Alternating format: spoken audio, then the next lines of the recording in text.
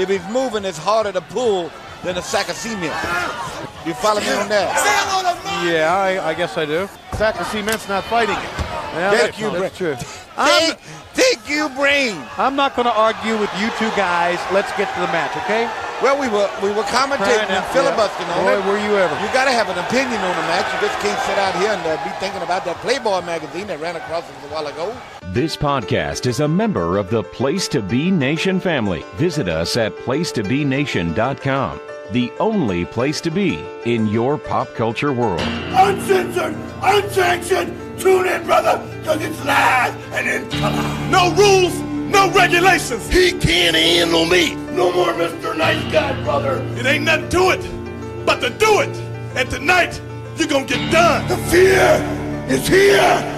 The fear is there. Well, Hulk Hogan was born at night, but not last night, brother. Am I gonna walk off into the sunset? Say goodbye forever?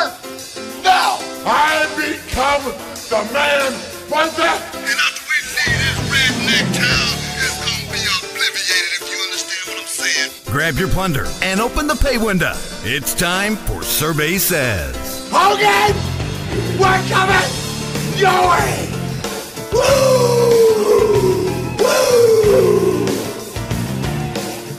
Welcome, everyone, to WCW Survey Says, where we are live tonight from Tupelo, Mississippi, the Tupelo Coliseum concession stand. And the floor is rather sticky here. Uh, we'll, we'll actually wish that was the case later tonight. More on that later. I, uh, I'm noticing Jerry Sags. He's he's passed out under under a crate of funnel funnel cakes, I do believe. And off to the corner there, it looks like we've got Klondike Bill chewing on a pair of, of panties, which uh, which is apropos. And who is this? Oh, it's uh, uh it's this is Mike Tenay. He's he's going head first into the into the hot dog flavored water. Uh, well, be that as it may, I am Tim Capel, joined as always by my co-captain. He is the Macho Man, Andy Savage. Helene, Andy, how are you doing tonight? Well, I'm wishing I'd brought a clean uh, change of pants because I got mustard all over them. Ooh, well, um, don't let Klondike Bill know that. That's that's too great taste for him, at least. That that probably go great together. So that could be a little bit dodgy here on this evening. But in any case, you may be wondering what what we're doing here tonight, and we're we're going to have a fun show. This this is going to be a little bit a little bit off the wall, but but so is so is our topic tonight because we're going to be talking WCW uncensored.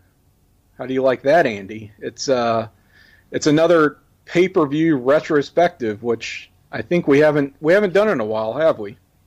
Yeah, it's uh, unsanctioned and uncooked like these hot dogs. the, these hot dogs are definitely unsanctioned.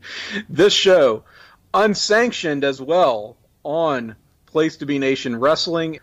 Beyond that, I mean, what what else is there to say except we're uncensored? or what's that commercial? It's like every time I keep thinking of that commercial, I get the Lucky Charm stuck um, stuff in my head, like hearts, stars, horseshoes, or like Rules are for fools. yeah, I think he does say heart or something like Bret Hart. And so He's then like running through all the nicknames and, and the, the gimmicks and stuff. Yeah. Yeah. But then I Yeah. think my head fills in the Lucky Charm stuff. Once I say hearts, it just goes like maybe I'm stuck on food. So it's Horseshoes. what are some of the Lucky Charms flavors and marshmallows? They they kind of did run through the list, didn't they? yeah. Uh, that that was, I guess, the official uh, WCW uncensored rap. there were the these oh some of these promos were um, kind of an event unto themselves, but um, in any case, let's not waste any time here. Let's let's get right into it. We're we're we're, we're just going to start running through these, and, and we're not going to go crazy with with Or whoa, match, whoa, whoa. matches and star ratings because that's that's not what we are here on Survey Says. If you've ever heard one of our shows before, you know how we do things here. We're we're just going to try to have fun with it. I think. Yeah, but one thing, should we take care of the business that we have before we get into the proper show? We do have a little bit of business and do a little housekeeping here on Survey Says. You've got some plunder with you, as I understand. Once again, apropos of of this episode, you don't have any farm implements, but but you do have some gimmicks. So so let's get into that. Each episode, I always give a shout out to my buddy Kurt Kilberg. He's like a spiritual third member of this um, show now because I mentioned him like so much. Or he could be like Norm's wife, you know, who's you always hear about, but you never, Never seen, seen, but often spoken of. Yes. Uh, but now he actually sent us fan mail, which I think is pretty cool. He sent me things in the past because I think I mentioned like um, he sent me WCW uh, trading cards before, and I opened them and talked about them on the show. But now I thought he actually sent me something, and it said "care of survey says." So I thought this is actually legit fan mail. So I'll just uh, save it for the next time we get together to record. And here's the letter right here, and I'll actually So you open it- got an actual physical letter in the mail. yeah, I don't know what it is. I think it's a card inside this envelope. Um, but I thought I'd just wait and open it up on the show and like tell you. So here, I'm opening it up now. Oh yeah, hold it up to the mic. Let's let's do this.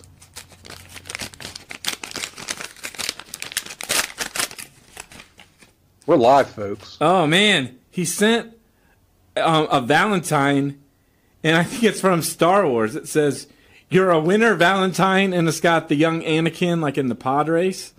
Okay. And I think how it relates to WCW is he put a WCW uh, sticker on it, and Oh. it's the um, 99 logo, like the redesigned one. That's Oh, the uh, as as Tony Schiavone describes it, the exploding vagina logo.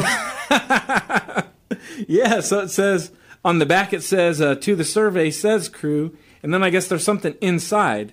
So there's actually something inside this little pouch almost. Oh man, it's a Valentine uh, with DDP. oh, near and dear to our hearts. Um, yeah, so he's like pointing or something, and he's like doing the diamond sign, um, the Okay. diamond cutter sign, and it says um, to the survey says crew from Kurt the Jawas Kilberg, because as you remember Oh, on the blog of Doom, he was Jawas. Yes, uh, as we met Kurt on on the blog where we met back in the day, he was known as the Jawas. So, I guess in keeping with the Star Wars theme and uh, Yeah. in, in keeping with our theme here on Survey Says, we've got DDP and you know for Valentine's Day he he has the the exploding vagina logo. So. I I think we've checked all the boxes there. This is tremendous. Yeah, so thanks, Kurt. I guess this gets you a spot now in the Fan of the Month Club. You are officially our Fan of the Month for this episode.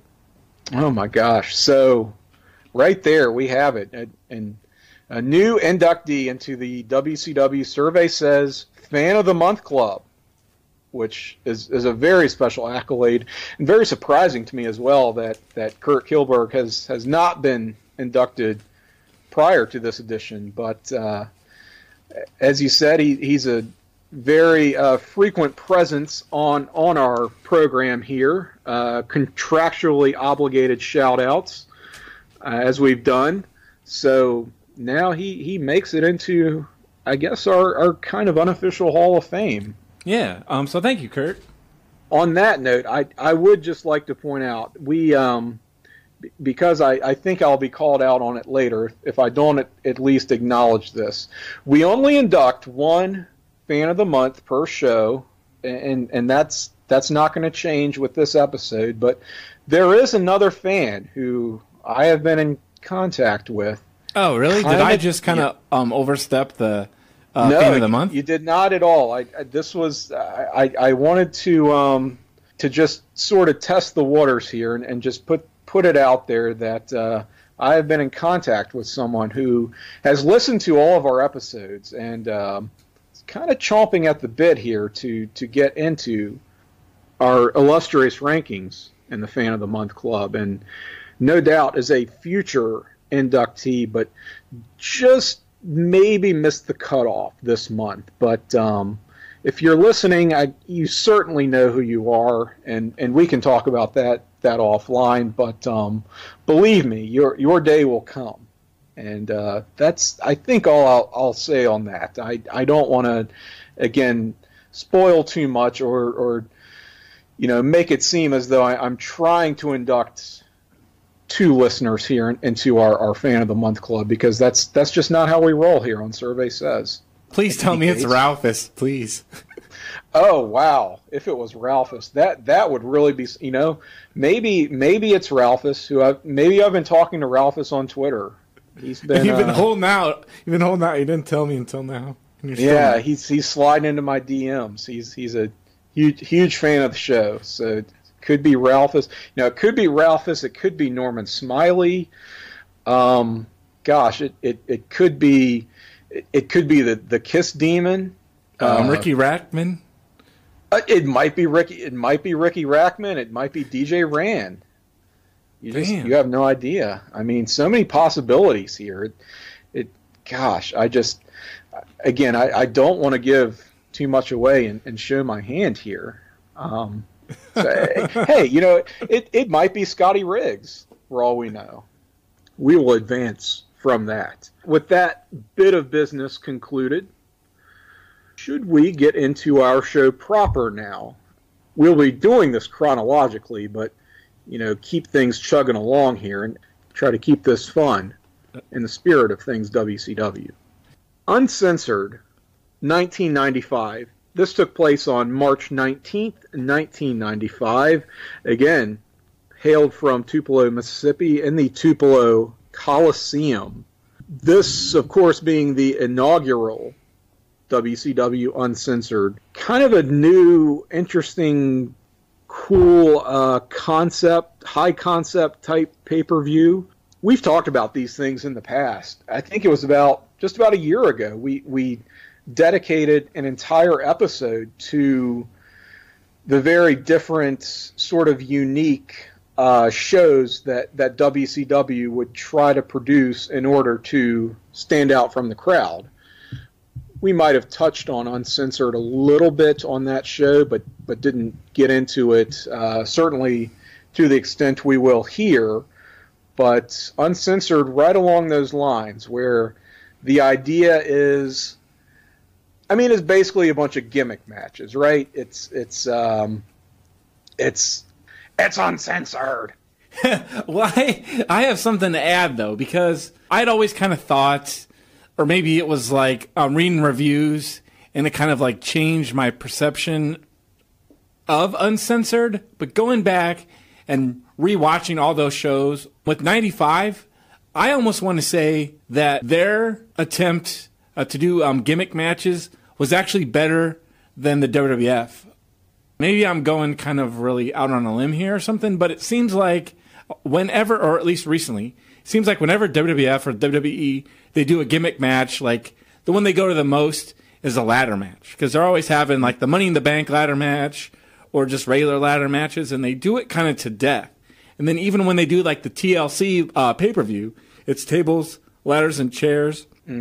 Then when they would do the Extreme Rules, they do ladders and they would do like kendo stick matches or they do like strap matches and stuff. But going back to this 1995 show, I guess ladder matches were pretty like new and they hadn't done any yet, but so they kind of took a different approach and they're like, "All right, well we have wrestlers that are boxers or who can do karate, so we'll kind of and we'll kind of mash up the two different guys and kind of do like a different thing like that." So it seemed to me like maybe they were having fun with it and maybe they kind of went like way too far with the concept. Like maybe they kind of tried uh, too hard. Um, but I thought, hey, at least they were trying. And so it kind of won me over that way. You know, they at least made an attempt to yeah, kind of well, do I don't know how many um, boxer versus wrestler matches the WWF had. You're you're definitely right about or Well, King they of the did the Road Roddy Piper. Oh, true. Yeah, the King of the Road thing. But uh, but yeah, they did oh, what Roddy Piper and Mr. T. That one's super famous, like the boxing. Well, that was actually a boxing match, not It was just a boxing versus match. wrestler. Yeah, this is a uh, boxer versus wrestler, and and of course the the the martial arts match. So that's that's something that was um, pretty much uh, uh, limited to WCW and, and their early efforts here with uh, the all gimmicked pay per view. But but you're right in, in the sense that it, it's a little bit ahead of its time in some way. Um, we've also talked about how it seemed like for the longest time WCW was the promotion that had more pay per views than the WWF in a calendar year. And then, sort of all of a sudden, uh, in this very year, 1995, the WWF decided they were going to do 12 pay per views, one for every month, and they introduced the, the in your house concept. And they kind of leaped ahead of WCW on the paper on the pay per view front. So WCW responded by adding more shows to their calendar, but they still weren't running as many as the WWF. So this was kind of an interesting response to that. Um, I don't know how much advanced planning or advanced warning they had that they need, needed to kind of fire back here, and they were sort of in, in a more defensive position for a change on the uh, pay per view front. Um, but in a lot of ways, this feels like as much a response to the WWF as it is WECW, excuse me. You know, we were talking about on our look back on 1994 how, you know, they ran Slamboree in Philly and had the uh, the ECW mutants, so to speak, and were kind of uh, trying to adjust their their show and their booking to that crowd. And here again, I, I feel like they're they're trying to do something more in the vein of what's considered quote unquote I, I'm doing air quotes here extreme for 1995. So so you get a little bit of that as well. Yeah, you know, Um, I never actually considered that uh, this would be their response to ECW, but you're all right because, um, yeah, you, like you bring up uh, the show we recorded with Andrew Reich on Spring Stampede and Slamboree from '94, and yeah, this does kind of actually now that you put it in that kind of perspective, it does seem like it's their reaction to ECW, whereas maybe their um, reaction to the WWF would be then bringing back uh, the Great American Bash because that hadn't been a pay per view uh, since 1992, and I guess we can get into that in a whole nother show, so um, we can just leave Sure. that there. But that, Yeah, no, I, I could see that as well. Um, and I, I feel like not that ECW would have necessarily been been considered a threat to them, but they could be perceived as maybe more cutting edge than WCW certainly was perceived at the time. So it would make sense to to go down that route a little bit more. Um, having said that, you will not see blood on this show. nope, that's Blading. just ketchup from the hot dog stand. Just yeah, just ketchup from from the uh, the Tupelo concession stand. It, it's funny because shortly before this this show, I, I was kind of reading up on the background a little bit, and Dr. Harvey Schiller had become, I guess, president. I'm not sure what the official title was of TBS Sports, and WCW was moved under the purview of, of TBS Sports and Dr. Harvey Schiller from uh, Bill Shaw, who kind of been the, the man in charge for a while. And Harvey Schiller wanted to take the promotion in a direction that was more kind of kid centric, kid friendly. And the very first sort of edict he handed down was no more blood. N- Not that WCW was really known for that kind of thing, but it would happen. And when it did, it was sort of like, eh, whatever, it's wrestling starting kind of officially here with his tenure, it was like, no, that is not going to happen anymore under my watch. And it just so happens that the show that is going to be most impacted by that is one called WCW Uncensored. so a little bit ironic and unfortunate in in that respect. Well, even Um, in the first match, because didn't I know. they say that Dustin and then uh, the Blacktop Bully, uh, they both got fired because they bladed. That's right. In the uh, in the aforementioned King of the Road match with with Dustin Rhodes and the Blacktop Bully, they and this is what kills me. Okay, so for starters, uh, this was this match was pre-taped, right? So you would think if they blade, which they're not supposed to do, but they do blade. Okay, that's a big no no, but at least it's a pre-taped match we can edit around that. We can edit that out so that you don't see it, so that for all appearances, it, it didn't happen. And yet, the way this match is edited, you do see that, and it's kind of all over the place in its in its editing. Did, did you notice the the way this was put together?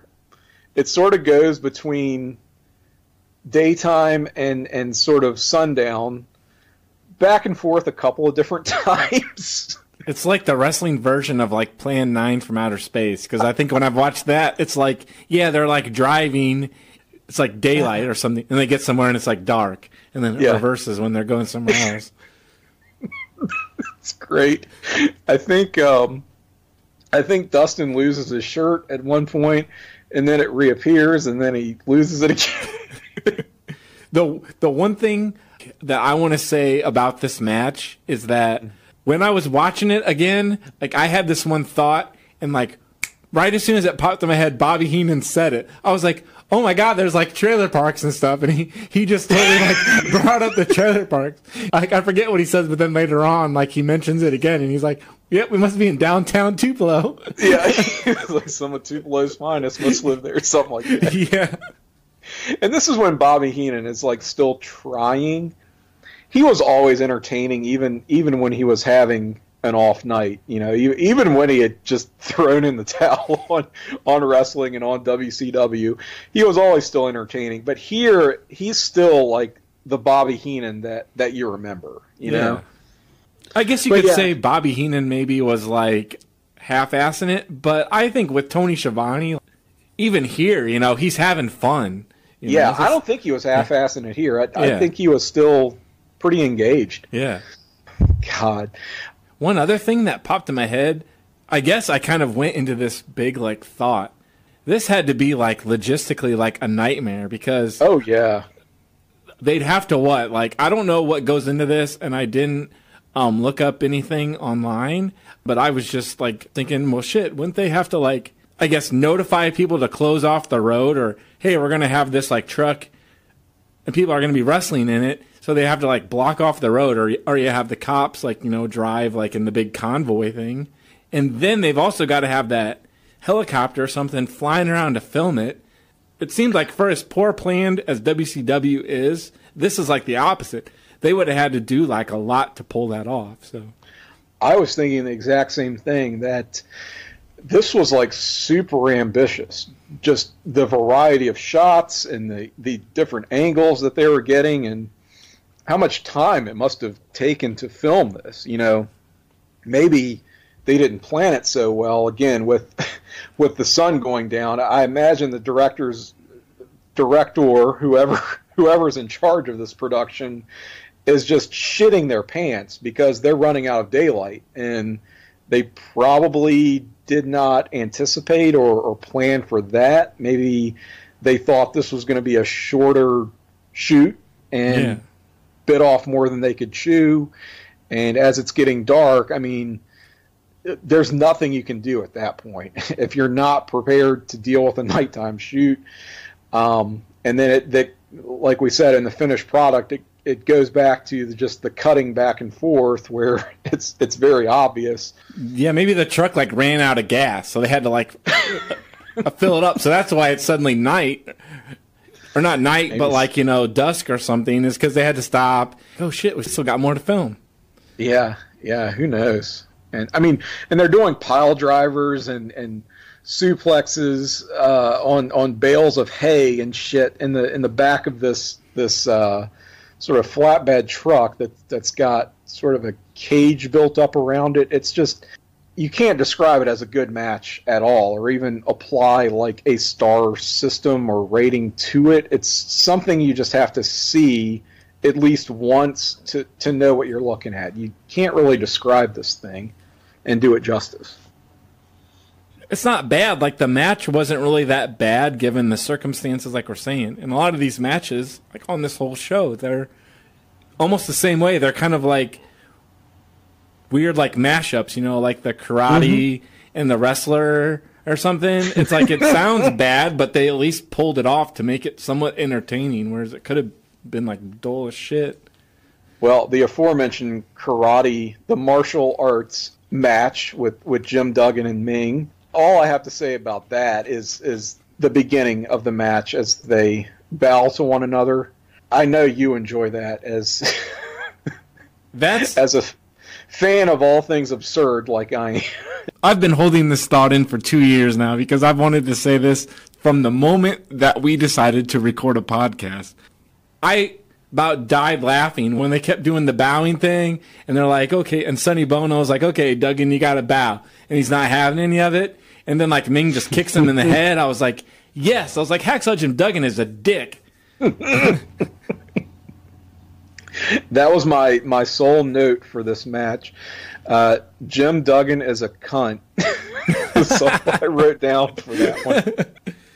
This is a show that that very much feels like part of the the Eric Bischoff WCW, in that visually it's it's pretty appealing. Like I think Bischoff knows what looks good on television, so it looks kind of top notch. The problem is that the sort of overall production and the direction, especially, is is what lets this down. At, at the same time, we we have things like uh, Avalanche versus Macho Man Randy Savage, ending in a disqualification in a no DQ match. So that's somewhat unique. the the the boxer versus wrestler match, which you know is interesting in its own right, but um, I don't know. I I think overall this is a this was kind of a, a worthwhile experiment for the promotion to do, um, and surprisingly was was very successful for them. I I had read actually that based on the buy rate and just the revenues that they they collected uh, on this show, it was their most successful pay per view to date Oh, as wow. of yeah as of uh, March of, of 1995. So that was definitely a revelation to me uh, heading into this. Um, any other thoughts on on on 95 here? I you know, we don't want to go match by match, of course, but uh, Oh, I we could. certainly do a best of yeah. and worst of. First off, about this show is that I've said that I like the matches and I was entertained by them. Maybe they were kind of bad, but they were at least entertaining crap. But the best thing about this show was all of the videos and the interviews between each match. It actually flowed pretty well. There was match mm. and then they were backstage, or there was a match and they showed like a promo video hyping a match. And then, you know, so on. They repeated that. And there was mm-hmm. one later on where they had Harlem Heat, and they're like, okay, we're going to show this Harlem Heat video. And it was a good video package of them beating up people, but the music, I think they dubbed over it with some, it sounded like from Seinfeld or like a Seinfeld knockoff. It was like, doo doo doo doo doo doo. Back in November at the Clash of the Champions, Sister Sherri was discovered as the longtime secret on the phone as she helped the Harlem Heat defeat the Nasty Boys. I don't know. But then Some of those dubs are really obvious. You're right. And then they even had a really good really intense promo with Ric Flair and Vader, like later on, like before the main event. They were really intense, and I think Vader like talks, and Ric Flair takes over, and Vader like leaves the set. But then all of a sudden, I think you see like a chair fly behind Ric Flair, and Vader comes back, and he's like yelling, and he's like, "It's uncensored," uh," and he's even doing the woo. he's even doing the woo with Flair's like woo, and Vader's like ooh. they were going back and forth, and it was hilarious. I loved all those videos. It's kind of like the same thing with Funk from the Slamboree show. How he's like totally intense, but he's like saying the most ridiculous stuff, but he's like really selling it. So he's really straddling the line, like Flair and Funk and Vader. They're doing the same thing. They're really straddling the line of like comedy and like Yeah. absurdity, but they're actually like a really good. And even Flair in that promo too. He's he dressed up like a woman for his run in, and then he still has like well, he's uh, talking with Vader. He's still got eyeliner on. I noticed he's got nail polish on. So he actually, they seriously did dress up like a woman, and he didn't just like half-ass it and put on dress. No, he like no. went like the full Monty, I guess. Um, you could say. Yeah, this this was the uh, the debut of uh, Ric Flair in, in drag, interfering in that that aforementioned Randy Savage and Avalanche match. I kind of thought he looked like a somewhat younger Bea Arthur, sort of had had that flavor going on. Maybe. I think we've even talked about that before, where he had like the grandma haircut. You know, the 1990 the mid 90s uh, uh, grandma bus driver type haircut kind of serves him well in uh, in that regard but you're right i mean he has the makeup on for for the duration of of his appearance here at, at uncensored so that uh, i mean talk about a, an unusual uh, visual aesthetic that that is presented no doubt that's not even not to step on your toes here, but No, please. That's not even the best promo. I've talked about the Harlem Heat one, now Flair and Vader, but the best one is Arn Anderson. I was in love with this promo, and um, I've even got a little clip. I'll try to like play a little clip right now. I've stomped, I've kicked a lot of mud holes in the backside of a lot of opponents. Burn my face into your memory. It's going to be there long as I want it to be. The ring is my home. When I'm in the ring, I'm the master of it, and anybody else that's in there with me. I'm Arn Anderson, World Television Champion. That's badass. Burn my face into your memory. It's going to be there as long as I want it to be. I mean, that's that is a bad motherfucker. That's Somebody- why I picked that part of the clip because I like that where he's like, "Burn my face into your memory, be there as long as I want it to be." God, yeah, and, and it's believable, you know, coming from him. I mean, we we've talked about Arn Anderson being like sort of the middle-aged dad type, but he could cut a damn intense promo and and back it up too. And uh, at the time, he's he's in the stud stable, right, with uh, with Colonel Rob Parker, which was sort of a departure from him. You know, you always associate him with with Flair and, and with the Horsemen, but this is a little bit different. I mean, he had he did the Dangerous Alliance as well, but um, this is altogether a, a different experience with uh, the the stud stable, which sort of comes apart after after this show. But um, I mean, for a while there, that was um, that was a pretty big going concern for WCW and and uh, Rob Parker as as manager.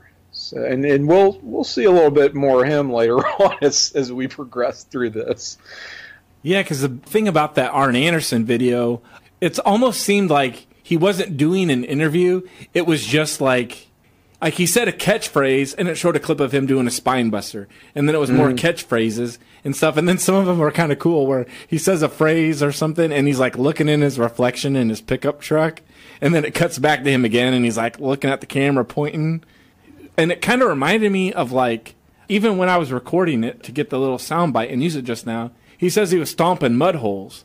And what I thought when I first saw this uh, as part of the show, it reminded me of in '97, where after uh, Steve Austin, you know, he was taken out with the pile driver and was on the shelf for a while and wasn't wrestling. He did like a promo or an interview from his ranch or something in Texas. He wasn't with his truck, but I think he was like had Owen's face on like a was using it for target practice, and he was shooting like arrows at it or something. And it reminded me of this. Like Arn was doing the same thing, like the intense promo out, you know, in the country. And then now listening to it again, he says the mudhole thing. So it's like, it's pretty obvious. I think Austin like might have used Arn as a little bit of an influence. I think so. Yeah, he he might have been a little bit of a fan.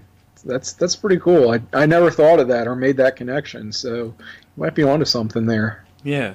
Anything else you want to get into there? Um, we basically talked about the entire card so far. The one thing I wanted to say is like we haven't talked about my favorite match, or like what I would say was like my favorite from the show was actually the Okay. strap match. Maybe it's because I think on our Super Brawl show where we talked about the previous match with Vader and Hogan, I liked it, but I Mhm. hated it at the same time because I think I was thinking ahead to the next couple pay per views because there's four in a row where it's Vader Hogan in some different type of match, and um, Mhm. Vader always loses, and I was like, well, why wouldn't they give Vader like a win or something, or at least let him win? And I think now I'd gotten that out of my system, and I was just like, okay, I'm just gonna sit back and I'm gonna enjoy this like strap match. And I wasn't really like looking at it in some kind of marky or like snarky way or something. I loved it. It was like Vader did like take a lot of uh, offense from Hogan. It almost seemed to me like it was two matches at once because you had what was going on in the ring with uh, Vader and Hogan, and on the outside you had like another match because Flair kept like he'd try to go uh, hit the Renegade, and the Renegade would like pose and like scream at him, and Flair would like run away, or Flair would try to run into the ring, and the Renegade would cut him off. And so yeah, it seemed like a comedy match on the outside. Then you had the strap match on the inside, and then they kind of like I think bled into each other, and it was just it was entertaining. Like I don't know if you felt the same way or not, but No, that's that's true. It, it was kind of a, a tale of two matches where it sort of um, vacillated between really intense and a little bit of comedy at the same time. I mean, talk about Ric Flair and drag, uh, and and still having the the nail polish and the the eyeliner on as he interfered into this match, and it's funny because the finish still keeps Vader pretty protected because it's it's Hogan like um, pinning Flair, which doesn't really work because Flair's not in the match at all. Like he, he's in no way a a competitor or performer in this match. But okay, we'll we'll just roll with that. We're uncensored. and, and that's just that's just how it ends. It's like, all right, well, I guess that's a that's a creative way to keep your your biggest heel protected, I, I guess. Um, I do think it was a little bit of a missed opportunity. I mean, we saw Flair and drag earlier in the show, and the object of the strap match is is to drag your opponent, drag your opponent to all four corners of the ring, right?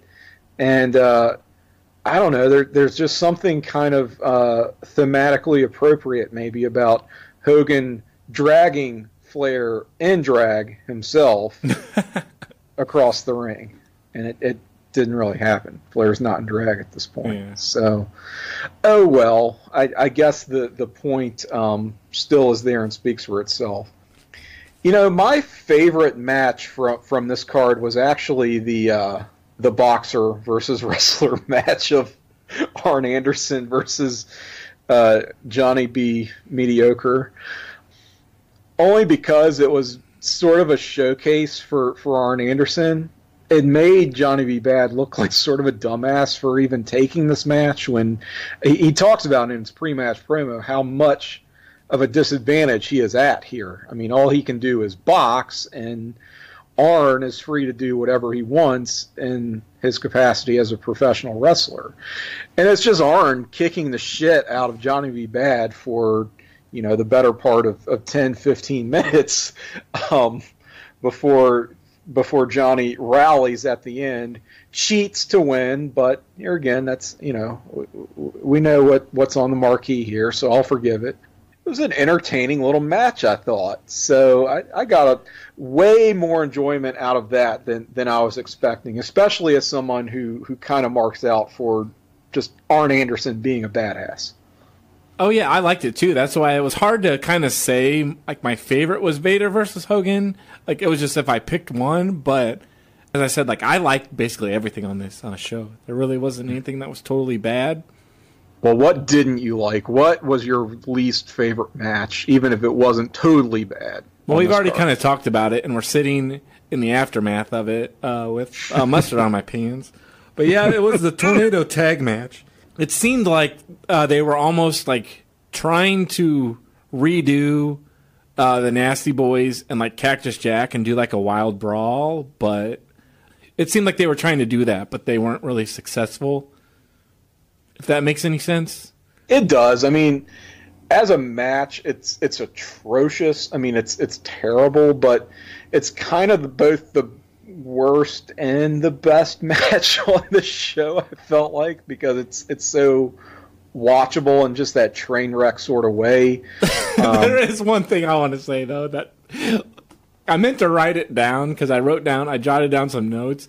I guess I forgot to write this down, but it popped in my head now. Is there was one part where like I think one of the nasty boys on the ground and and Stevie Ray grabs this whole sheet thing of cotton candy and just kind of like rubs it on the nasty boys guy's back, and that's all he does. It hit him with it. He just kind of rubs him, rubs it on him, and then scratching his back. That, yeah, that and that's really the match in a nutshell. As soon as it goes backstage, it just completely falls apart. And they're doing this like concession stand brawl.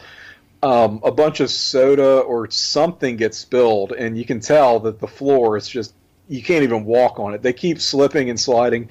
And I personally am such a big fan of just pratfalls of, of people like falling and busting their asses that I was dying watching this match. I mean, there were so many times that just somebody does something clumsy and falls and, and looks like an idiot, um, including Sherri. Although props to to Sister Sherri here, who on heels probably had had the best showing just getting around in this this oil slick that the floor had become.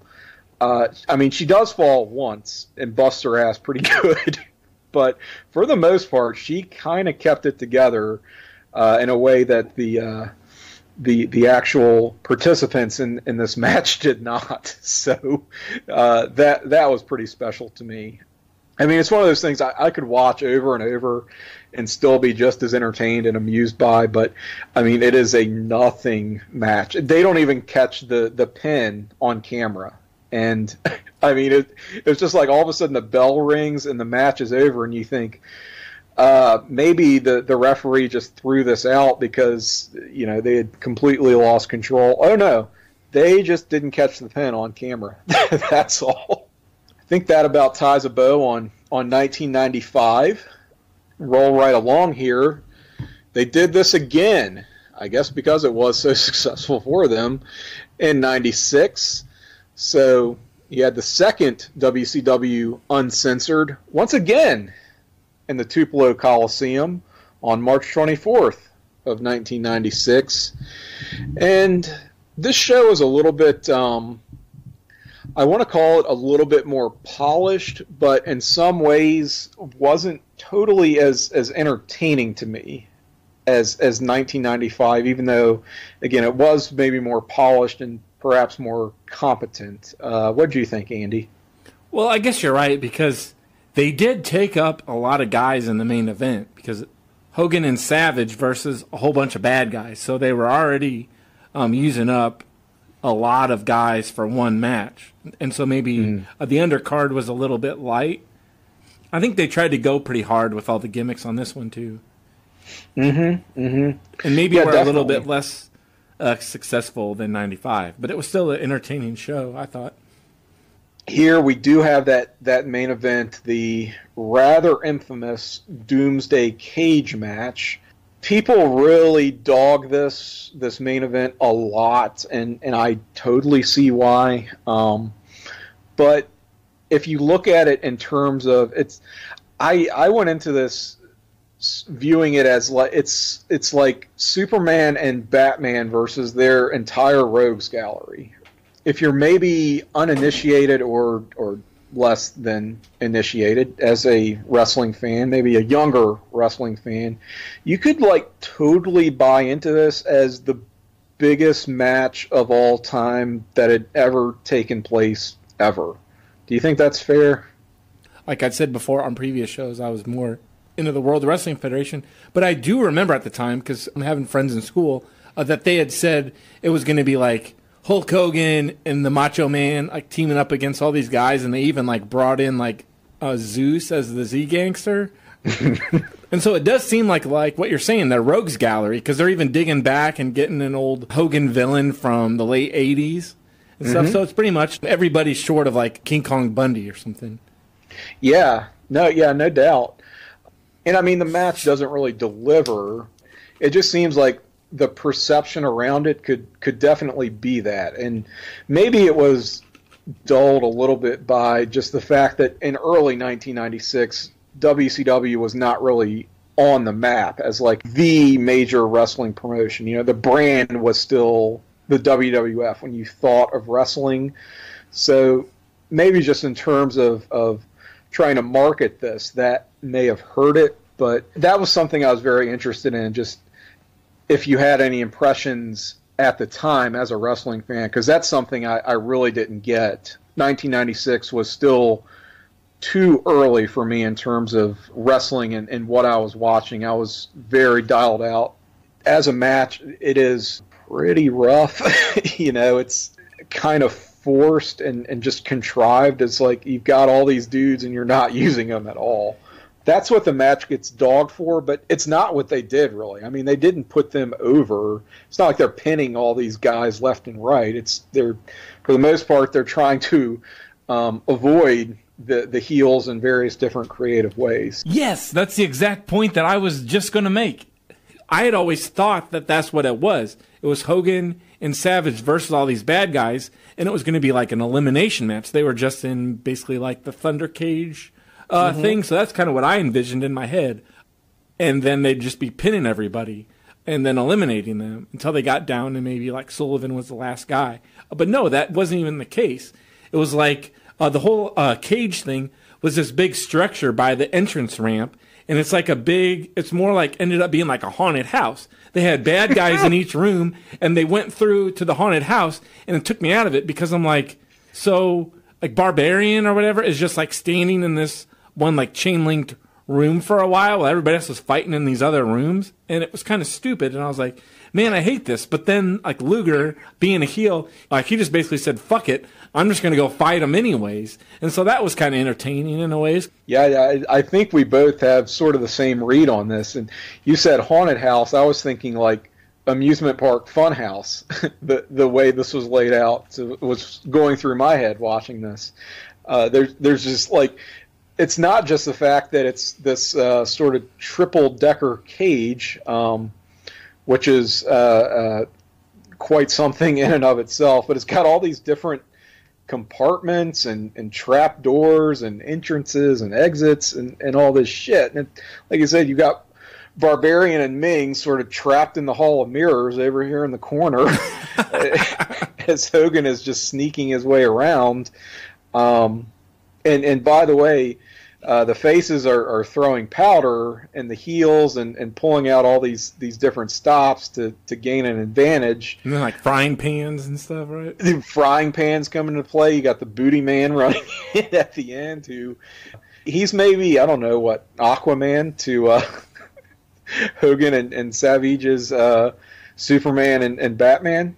And and Savage gets the, the win, he just sneaks it out, which was hilarious because the finish comes when Luger with I guess a loaded glove supposedly or or as we're told on commentary goes to hit Macho Man who Flair is is holding and Savage very clearly ducks out of the way like in plenty of time and Luger starts to pull his punch but the finish I guess is supposed to be him knocking out Flair so he not only pulls his punch he pauses grabs Flair by the head and very deliberately hits him and then acts like it was an accident.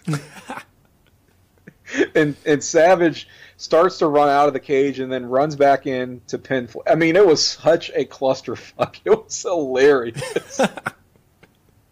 I mean, I just I died laughing at that. I was like, I cannot believe number one that this happened, but that was the actual finish. On that note, so what do you have as your best match on this show? As much as I don't like uh, Konnan, um, I liked his match with Eddie Guerrero, but I liked the Belfast Bruiser and the Lord Steven Regal match. I thought that was really intense and it was pretty good. Yeah, that was crazy stiff. I I definitely would have that as as my favorite match too. Really more than than you'd probably seen from Steve Regal at that time, where he's portraying kind of this prim and proper sort of. I mean, let's face it, kind of a pussy type of wrestler. And here he's like taken to the limit by Fit Finlay, then the Belfast Bruiser, and they just go all out. I mean, holy shit. Yeah, I think around this time too, they might have had one on Nitro, like a parking lot match. Yeah, they they had a couple of matches, and I want to say this was their first, but I'm not definitely not 100 percent on that. But they had a few just super stiff matches that were like, whoa, this is. I don't think I'm watching just you know choreographed, worked wrestling here. This is just a fight. What the fuck was up with Fit Finlay there? He had like the mustache and like the Tupelo mullet. And then didn't he have like the Tupelo mullet? and then he he had like the Road Warrior, you know, jacket, like the Mel Gibson Road Warrior jacket thing. It was weird. the Tupelo mullet. Uh, yeah, he did. It was like he he like started going gray, so it was kind of even a worse mullet than I guess your your average Tupelo mullet. you got this these long locks of gray hair that's in a mullet, and yeah, the the um, half shoulder pad thing going on from the from the Road Warrior. So very good stuff there. Worst match. What do you think? I kind of didn't really like the street fight. You know, they had the Regal and Finlay match that was a legit like street fight, but then the actual street fight for the um, like with the tag match, I don't know. I wasn't really feeling it that well. Right. I was definitely getting like visions of Sting and Hawk versus the Nasty Boys from Starcade '93, uh, which went an ungodly 30 minutes. Uh, and this this match that, that you mentioned, which is Sting and Booker versus uh, the Road Warriors. And I mean, I went in ex- totally expecting to hate it, uh, when, especially when I, I looked at the, the length and saw how far that bar had to progress on the network to get to the finish. And I'm just like, oh God, what am I in for? And I, I don't know. I kind of found myself surprisingly liking it. I don't know why they they booked this thing to go 30 minutes, but I thought they did a pretty capable job of, of keeping it lively. But having said that, I, I think I would concede, yeah, this would be the match I'm lowest on as well, just because it, it should not have been that long. They and yes, they did the best they could with it, but why saddle them with this kind of burden? It's just I did like the bit where they go backstage and uh, interrupt Luger during his kind of pre-match ceremony. He's posing in front of the mirror. I guess I I do give it props for that, but um, yeah, I, I I mean, there's other just kind of shit on this card with uh, you know you had the the giant and Loch Ness, but that's totally inoffensive. And then even like Medusa and like Colonel Parker, that one's like so short. But I was actually Mhm. on the opposite end. I was kind of getting into it, and then boom, Mhm. it just ended. But there again, it's it's less than five minutes, so what are you going to get worked up about? Yeah. So Yeah, like it's better than Michael Cole and like Jerry Lawler. Oh you know? my god. or Bret Hart and Vince McMahon. Oof. It's it's hard to find a lot of fault with the stuff here on on 96. It's just um too competent for its own good outside of just that hot mess of the main event. But in any case, that's 1996. Uncensored 1997, We have now left the Tupelo Coliseum. We are from the North Charleston Coliseum, and pretty big show for the promotion. And you know, stop us if you've heard it, but it's a 1997 WCW pay per view. We're pretty high on it. What do you think? Yeah, I'm definitely high on this pay per view. I don't know how familiar you are with it, but this is one like I've talked about all the tape trading and stuff when we really got into it with uh, the episode with Andrew uh, uh, where I was sending him stuff. But this is one I think I got back in that era. But I've had the show for a while, for like ten years now, and it's one that I go to pretty regularly to watch because everything on there is really good. Yeah, from top to bottom, this this is a super solid show. The opener is Eddie Guerrero versus Dean Malenko. And it's weird because I was expecting a lot from this match, and I felt it was just kind of so so. It sort of put me in kind of a down mood for the rest of the show, but it picks back up in a big way. Like on any other night, you would expect that to to be your best match, and here I, I, I felt like it wasn't. It just sort of started getting better better from that point. Even though maybe I came in with with too high of expectations, I don't know. It's similar to '96 in that you have a very stacked main event. It's it's top heavy where you've got just a lot of, of your main event guys in the actual main event. So they're leaning pretty heavily on their undercard. Uh, but they had such just a, a deep vent, uh, deep bench here in '97 of super over and, and good workers that they could pull it off um, in a way that they couldn't in, in perhaps years past. Ultimo Dragon versus Psychosis was a match that I've seen probably uh, on a lot of different shows. These guys sort of paired off a lot. But here, I mean, they really tore the house down, I thought, um, and, and got more of a showcase than they probably would on other shows where they might be buried or overshadowed by, by bigger stuff going on around them. Uh, so that, that's an example of, of how I think this show really shines, in that they they did have such a showcase for just their their kind of mid card type guys, and you know the cruiserweights and the luchadors that that we've praised so much. Everybody can say, "Hey, like they didn't put over." Uh, the vanilla midgets and yada yada, but those guys are actually wrestling not for the cruiserweight title in the opening match, but that was U.S. title, right? Yeah, that was that was U.S. title in that uh, in that opener. Yeah, so it was kind of cool to give those guys like a match like that and have it be almost. I think that was like the longest match on the show too. Actually, so it, they gave yeah, some time. It, it definitely got some time. You're right, and it's kind of cool in that Malenko is very much working the match as a heel, but Eddie had kind of started his heel turn too, so it's not quite, but almost a heel versus heel match, which you don't see a lot of, and and especially you know in a pay per view opener like this with two guys that are pretty strong established characters. Yeah, I mean, I I thought it was um, a, an interesting uh, role reversal in, in that sense from from what you usually expect from them. There's also other shit going on where they would cut away from the match to, to show you backstage where fucking Rick Steiner got taken out or, or you know things of that nature. So maybe took away from it a little, took away from my enjoyment a little bit. But at the end of the day, it, it it's still Dean and Eddie. So even Glacier and Mortis, holy shit!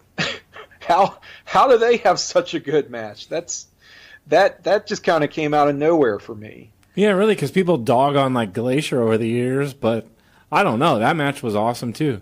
I think there's like Scotty Riggs and like Buff Bagwell, so they're kind of blowing that off. The uh, American males explode, and it's a strap match because it's uncensored, so it has to involve a strap somehow. Buff does an interesting thing here where he always sort of did this, but maybe he was still trying to figure out his his new heel character a little bit and, and experimenting with uh, with different gimmicks he talks to the camera a lot in this match. I mean, like to an excessive degree that it was almost breaking the fourth wall.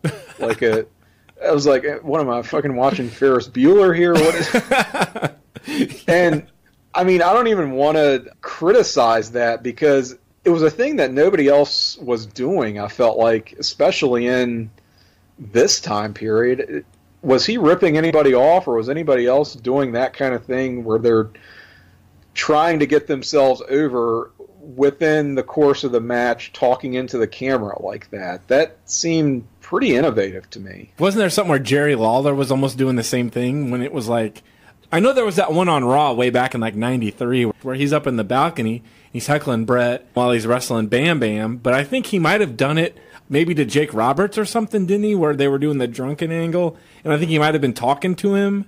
Um, but I think he's talking to him on a microphone. He's not talking to the camera. So, the, mm-hmm. um, yeah, you're right. This is a different thing altogether.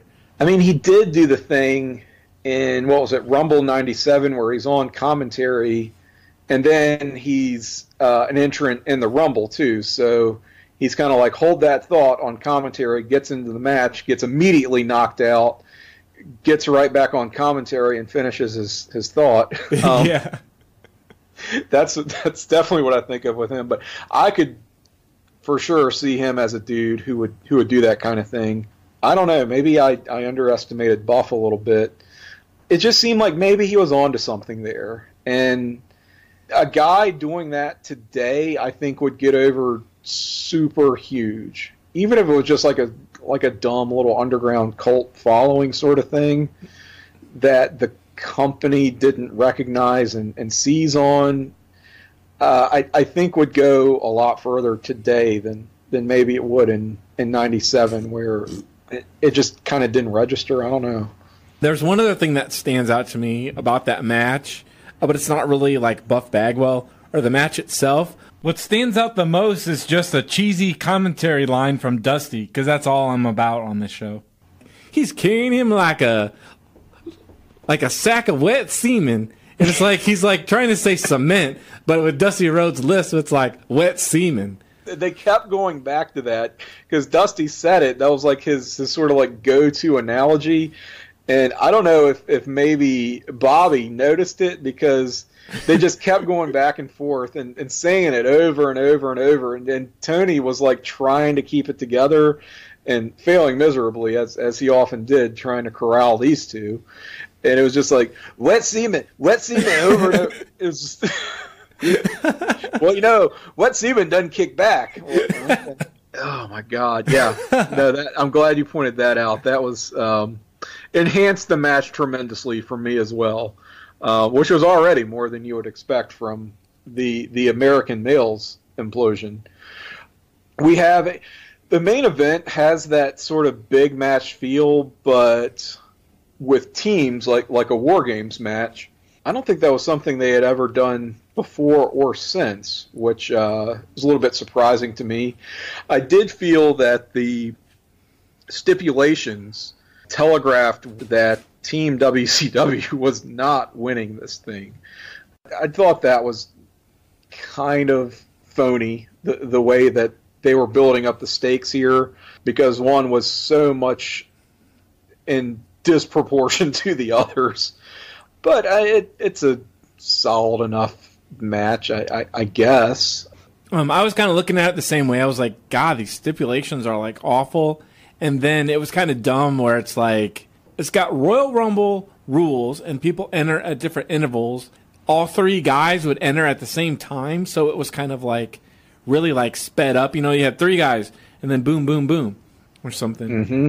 And then yeah, three and three, and just it it they kept up that that team format. So yeah, so I thought kind it was a hybrid. Um, yeah, so I thought it might have like worked better as an actual Royal Rumble. Like, um, you know, start with two guys and then continue with one guy after that. But I thought the match, just looking at the match itself from like bell to bell, like I thought it was entertaining. It was like it was hot and it got you into it. I thought it was sure. the same scenario with like Lex Luger, like throughout this period in like '96 and '97, where it seemed really like one sided on the surface. Where okay, you got Lex Luger against all four bad guys, but then he like racks them and you got the crowd getting into it. So it kind of like, mm-hmm, mm-hmm.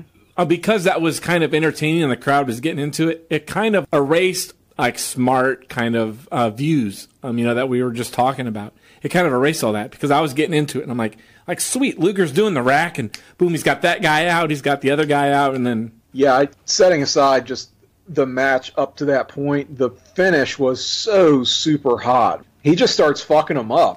And this, of course, was the, the introduction to the worm, Dennis Rodman, who was such a great contribution to uh, to WCW and, and the NWO at this time, um, making his presence felt and being responsible for, for Luger's defeat here. Um, but that was just super crazy hot. And it was cool because Lex Luger, he, he felt like he was a. Um, I don't know how to phrase it, a, a collateral beneficiary of Sting's absence, you know, where they needed somebody to just keep the the keep the dream alive week to week, so to speak, where you, you need that that glimmer of hope. And Sting wasn't always going to be there. He's not actively wrestling, and he's only a special attraction. Um, but Luger is, is really carrying the burden here, and and having to to work matches and be sort of that guy in in Sting's absence and reaping the benefits for it.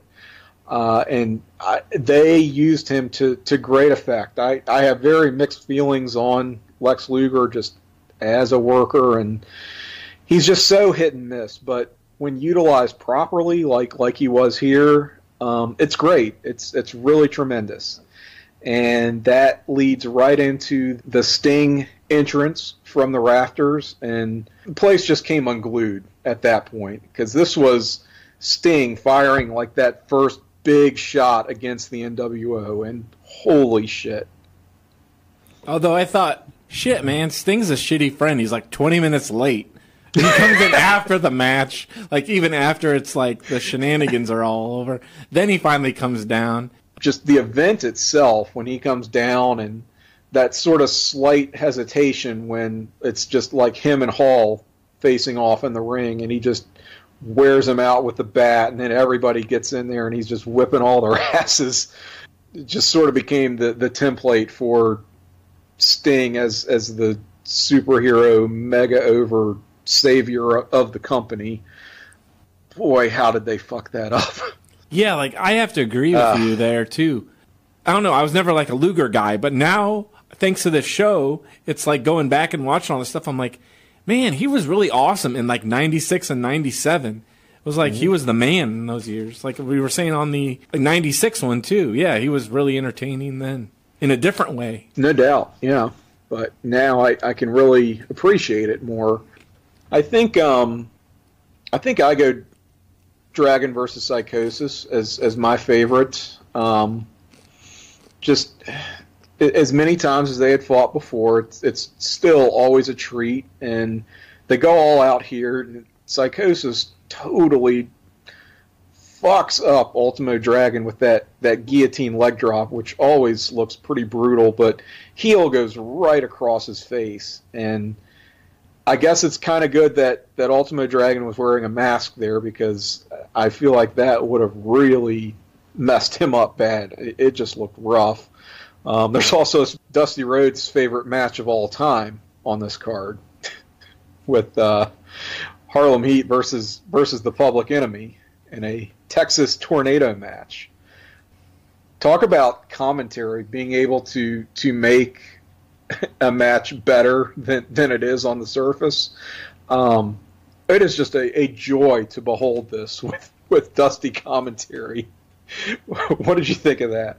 Oh man, yeah, it was it was amazing. Like I think we mentioned it before, but like the commode lid and like laying his tired ass out.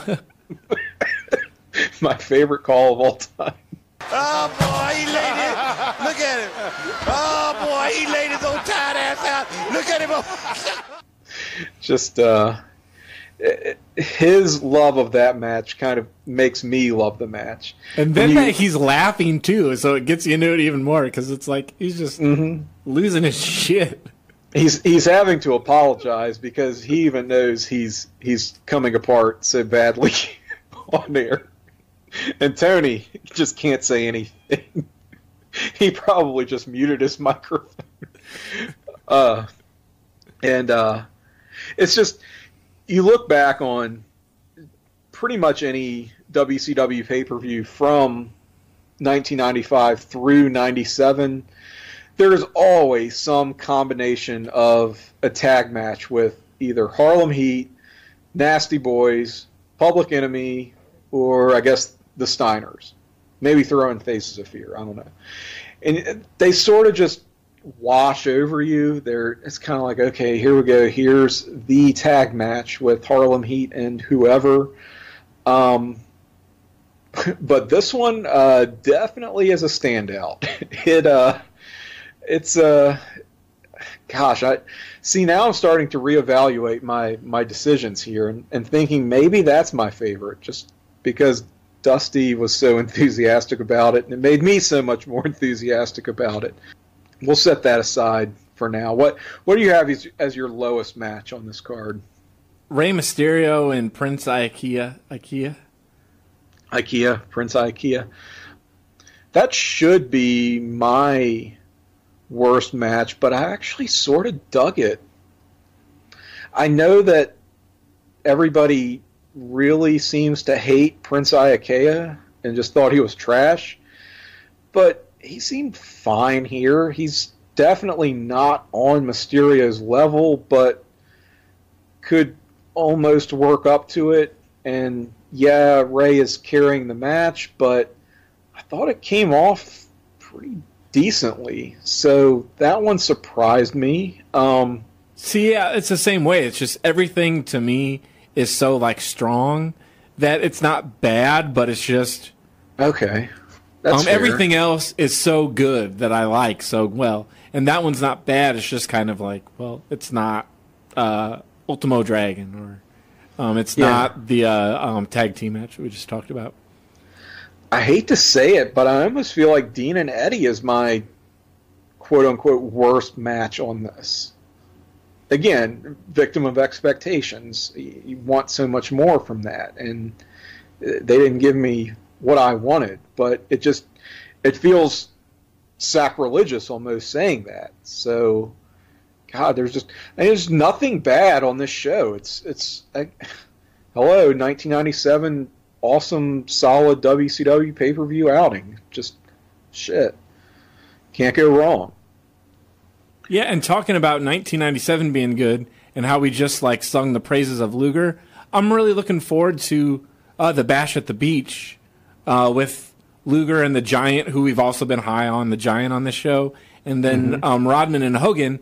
And I'm really wanting to watch it, but I'm holding off purposely on watching it because I know there's some of these things that I want to see again um, in this context. I'm waiting until we get to it. Yeah, I'm I'm kind of similar in that regard. And watching this made me want to see that match more. And I I almost fired it up right right after I had finished the show. And I yeah, I like, thought about that too. Yeah, yeah, yeah. We're we're kind of uh we're- we're kind of in sync there, and and wanting to save it for the show, as as I say. So uh, it w- maybe that's a stay tuned, right? We'll we'll get to it, no doubt, down the line. All right. Well, we are halfway through our survey of the WCW Uncensored. I think this is a pretty good opportunity to take a break, ha- have a have a pee. Have a Dr. Pepper or a Dr. Slice? Oh, Dr. Dr. Slice, Dr. Slice, Dr. Thunder, Dr. Harvey Schiller, Dr. Becker, Dr. Becker, Doc, Dr. Shasta. That's a good one. Yeah. Have yourself a, a Dr. Whatever knockoff and get some relief. We will be right back for the second half of our uncensored survey.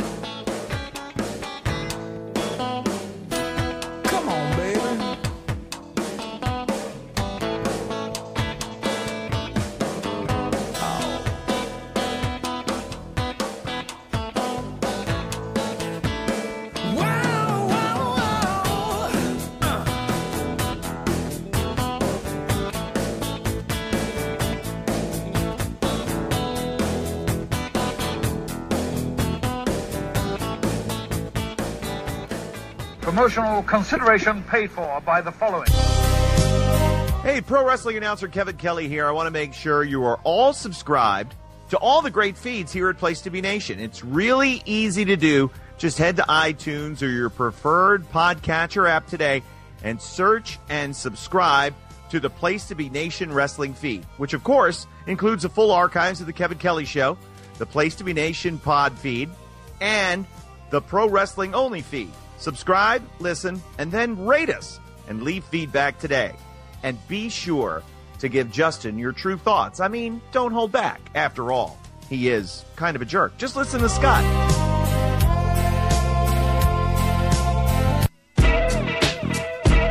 Place Nation's JT Rozzero and Chad Campbell here. We want to let you know that we have a ton of great podcasts available to you on iTunes, Stitcher, Google Play, and PlayStation.com, and we offer those to you on three great feeds. On the Place to Be Nation Wrestling feed, we bring you the Mothership, the original Place to Be podcast, as well as Main Event, Lucha Afterground, and our monthly pay per view reaction shows, as well as the Our Vantage Point podcast and Jeff Learns Wrestling. In addition to these full length shows, we also deliver quick hit pod blasts on topics old and new. Over on the Pro Wrestling Only feed, we dive deep inside the wrestling business with a stacked army of experts leading the way. The feed features potpourri shows such as This Week in Wrestling, Greetings from Allentown, Psychology is Dead, Puro Potpourri, Stacy and Elliot's Bogus Journey, and the Military Industrial Suplex.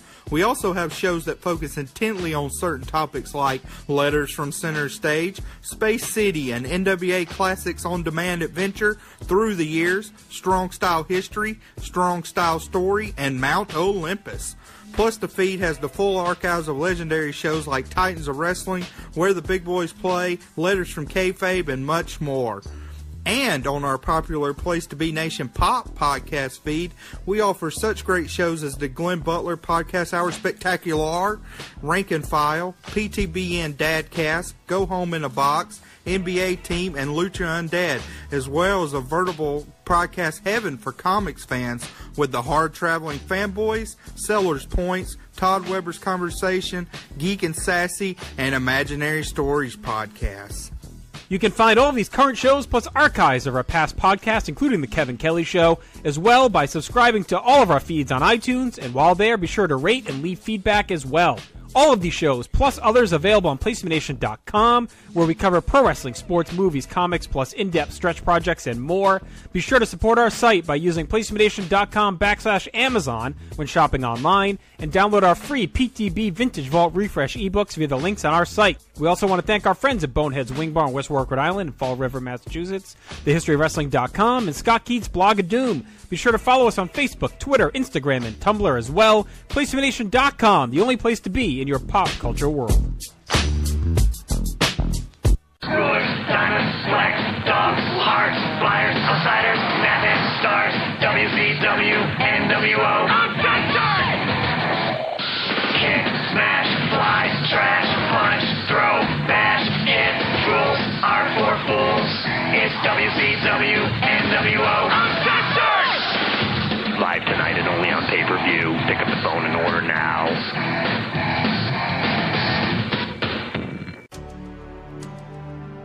Place to Be Nation Wrestling, welcome back to WCW Survey Says for the second half of our uncensored survey. So, you heard about the great variety of podcasts that we offer across two great feeds the Place to Be Nation Wrestling feed and the Place to Be Nation Pop feed. Uh, I've been somewhat busy in that regard and have appeared on a couple of shows that, that may be of interest to you, uh, depending on what you're into and what the cut of your jib is.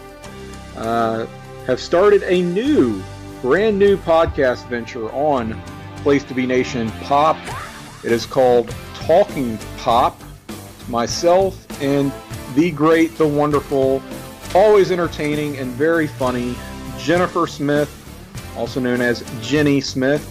We had our debut episode in February, had a lot of fun with our special guest and the sort of godfather, Grand Poobah, And the Svengali Supreme of Place to Be, that is the one and only JT Rozzero, who we've also had on Survey Says. Again, myself and Jenny Smith, if I can uh, toot my own horn there. Toot toot. Also, recently, again on Place to Be Nation Pop, Go Home in a Box with Chris and Joel. Joined them earlier this year to take a look at uh, two, I guess I can call them gyms in the early outing of uh, what was not yet the Marvel Cinematic Universe, but Marvel properties in the 1990 Captain America, starring the one and only Matt Salinger, I guess, and then The Punisher from 1989 with Dolph Lundgren. In some ways, maybe the best cinematic translation of The Punisher. I don't know. You be the judge. Check out the show. That is Go Home in a Box. A lot of fun, uh, a little bit different, but check that out if, if you're a fan of sort of cult classic movies. Uh, definitely had a blast uh, sitting down with uh, Chris and Joel for that. Uh, what else have we got going on? I do have uh, sort of the, I guess now quarterly, so to speak, uh, podcast with Todd Weber. That is Conversation Comics. We've been looking at the John Byrne and Chris Claremont run on Uncanny X Men. That's a slew of issues we've been running down. So, not quite done yet, but we are, I would say, more than halfway through that.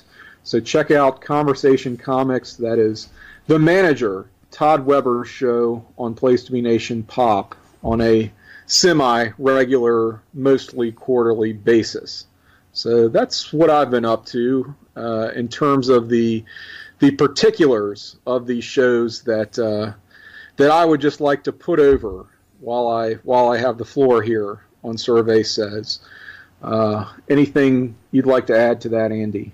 Well, I listened to both of your shows, the Captain America one on Go Home in a Box, and then um, now your brand new show on the Pop feed. And I like both of them, but now it kind of puts it in more of a context because we were talking about Harlem Heat and Nasty Boys and Sherri like slipping and sliding at the concession stand. And I think on that show with JT and um, Jen, you were talking about people like slipping. And so it kind of puts it in more context now. yes. Uh, yes. JT had a great falling story on a on that debut episode. So uh, if you're a fan of those things like I am, do please check that out. It's uh, definitely worth the download. My goodness, yeah, I'm gonna crack up just just thinking about that again. I, you know, I had one of those stories as well. I, I busted my ass in the parking lot at work. So, um, yeah, good times as always. These, of course, all on Place to Be Nation Pop. I will say that uh, although I am now dividing my time on a regular basis between Survey Says in Place to Be Nation Pop, you'll you'll find no decline in quality, even though I am now a regular on Talkin' Pop, uh, our new show. But um, everyone talks about how they, you know, they, they just don't have enough time. I don't, I don't have enough time to, to fit this into to my life. This, whatever this thing that, that I'm interested in that I want to do, I, I just don't have time for it. Well, nobody has time for anything. Nobody, we, we all have limited time. We, we have to make time for these things. We have to, we have to make room, push other things off to the side, and, and I'd like to think that uh, that the the way that I have that I'm fitting in these these additional podcasts with again hopefully no decline in, in quality is the things that I am cutting out of my life are you know like productivity at my job my my actual job responsibilities we can we can cut that right out um, th- things like uh, exercise going to the gym don't need that anymore just just dispense with it um, healthy eating, just get rid of that. Sleep, don't need it. You know, it's all about the podcast. Yeah, because you've got like uh, six uncensored shows you had to watch, so I kind of put you through that again. Picking all the shows and going, "Hey, do it. Watch all these shows." Do it. Yep, just do it. Get it done. That is exactly right. And it was a labor of love for me. I Hope it was for you too. Uh, because what we are talking is WCW Uncensored, and our next outing is Uncensored 1998. And that was on March 15th from the Mobile Civic Center in Mobile, Alabama. This is one that's, um, I guess, a little bit more familiar to me since I was definitely more locked into the product once again by 1998. Not that I saw this as it aired at the time, but you know, I wasn't that far removed from it when I did see this show. Pretty good time capsule with what's presented here, as uncensored as a whole kind of is. In any case, uh, pretty stacked, solid card where things just sort of build from the bottom right up to the top. Uh, there's not, you know, there's not like that bathroom break type match that you expect on a lot of contemporary pay per views. It just sort of builds and builds and builds upon itself until your uh, your main event, which uh, the main event of this show was Age in the Cage uh, three or four, depending on your reckoning. We should do an entire episode devoted to all of the Age in the Cage matches. What do you think, Andy? Yeah, like okay, we've already watched enough Hogan Savage cage matches. We might as well watch the Hogan uh, Piper one too. That's right. Yeah, becoming kind of a recurring theme, I guess. These these Hogan main events and Hogan cage matches and middle-aged main eventers because this is Hollywood Hogan with Macho Man Randy Savage in the implosion of not the Mega Powers but the NWO. Both of them stalwart NWO members colliding in the cage match here. That's the one that I got to say is like people shit people shit on the one uh, that we just talked about from 96. But this one is it's like terrible. It's like remember the Hogan Hogan beating on Sting when he couldn't even get his coat off, you know, at SuperBrawl, Yeah. and he's just like whipping him around. It was the same way. Like Macho Man, I don't think he had really any offense until they got outside of the cage or something. Hogan's just like totally annihilating the Macho Man. I don't know. Brutus Beefcake comes out with gimmick number like five or six or something. He's like the Yes. disciple, and I had almost totally disciple. I'd almost forgotten about the disciple. He comes in there. Then um, Sting like drops down, and this is during the point where I think Sting. It was like people were dressing up as uh, Sting and doing the fake outs. And I think even that one that we're talking about, or we just mentioned, Hogan and Piper in the cage, they had like fake stings in that one. And I Yeah. thought when Sting dropped down, it was going to be another fake one. And it was really him. So I was kind of like uh, thrown off. And that kind of got me interested in the match a little bit. It was the only thing Right. interesting to me about the match was um, Sting coming down. And I'm like, well, is that really Sting? What's going to happen? So I was kind of invested in the post match part more than the actual match. it's just it's kind of weird all around. It's one of those. It, it doesn't feel like a proper pay per view main event in its own right. It's just all sort of storyline advancement, which was uh, kind of the order of the day by by '98, where WCW they don't care that much about uh, th- their live event promotions. They don't care that much about pay per view. It's all about driving the, the television ratings, right? So that's that's what this is about, just getting you to tune into Nitro the next night, which I'm sure this was very effective in, in doing so. But I mean, you're right that the match itself is is garbage, and I mean, you even said while they are outside the cage, that's that's when the disciple interferes. Well, why are they outside the cage in a cage match? they, you know, they just they just leave the cage. It's it's fine. It's whatever. This is um, I think I'm on record as sort of hating escape rules anyway in cage matches, but you do you do sort of think that um, they get out get out of the cage, the match is over. Well, no, not here. It's just totally incidental to this match, and um, that's just to, to say the least of this main event's offenses. You sort of have to grade Hogan matches on a curve anyway by by this point in time. They're not going to be stiff. They're not going to be hard hitting. They're they're not going to be believable at all. But they can still be entertaining. See Hogan versus Piper at, at Starcade '96 for like Exhibit A, and that you know not a great, well worked match at all, but still pretty fun. And this is not that. It's it's not at all. It's it's a bad match with a worse finish, and I think would I be correct in saying this is both of our worst match on the show honors going to this one? Yeah, because at least like uh, the cop out finish at 95 made sense. Everything that happened before the finish was entertaining, you know, with the Renegade, Flair, Vader, and like Jimmy Hart and stuff. It was entertaining, but this one, you could excuse uh, the crap finish if the match was good, but the match wasn't good either. So that's why, like, I don't like it. Yeah, yeah, nothing to nothing to see there really. Oof, what a dog. Uh, this show does have the Chris Jericho Dean Malenko match for the Cruiserweight Championship, where Dino Machino loses in this pretty high profile match. Big win for Jericho as he's really on his way up uh, and settling into that, that groove in his heel character. And you've got the the, uh, the great post match interview with, with Mean Gene where he's just he's berating Malenko and telling him, uh, "You blew it, you blew it, Malenko," and that of course pops me every time I see it. Um, and asks Dean what, what he's going to do next. Where is he going from here? And, and Dean simply responds, home. And that got Dean more over than pretty much he'd ever been in his career.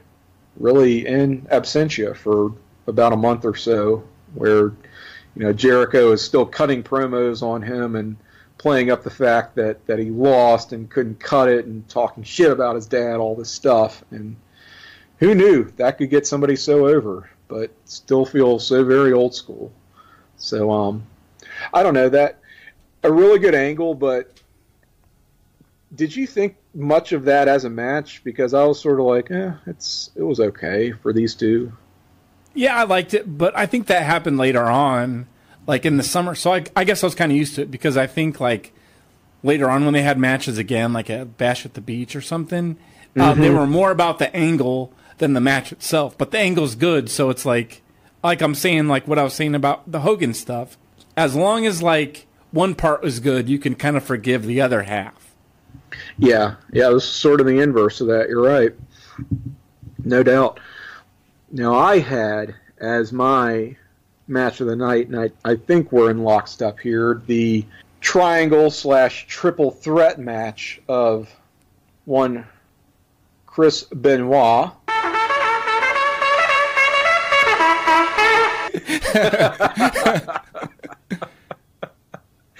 Continuing his feud with uh, Raven in the flock versus Diamond Dallas Page, the United States heavyweight champion at the time. So, uh, this was, again, a triple threat match. Had they really done triple threats as we know them today up to this point. Hadn't really researched that. See, they had done like I think we've watched a couple before, like triangle matches where mm-hmm. they had like all three at once.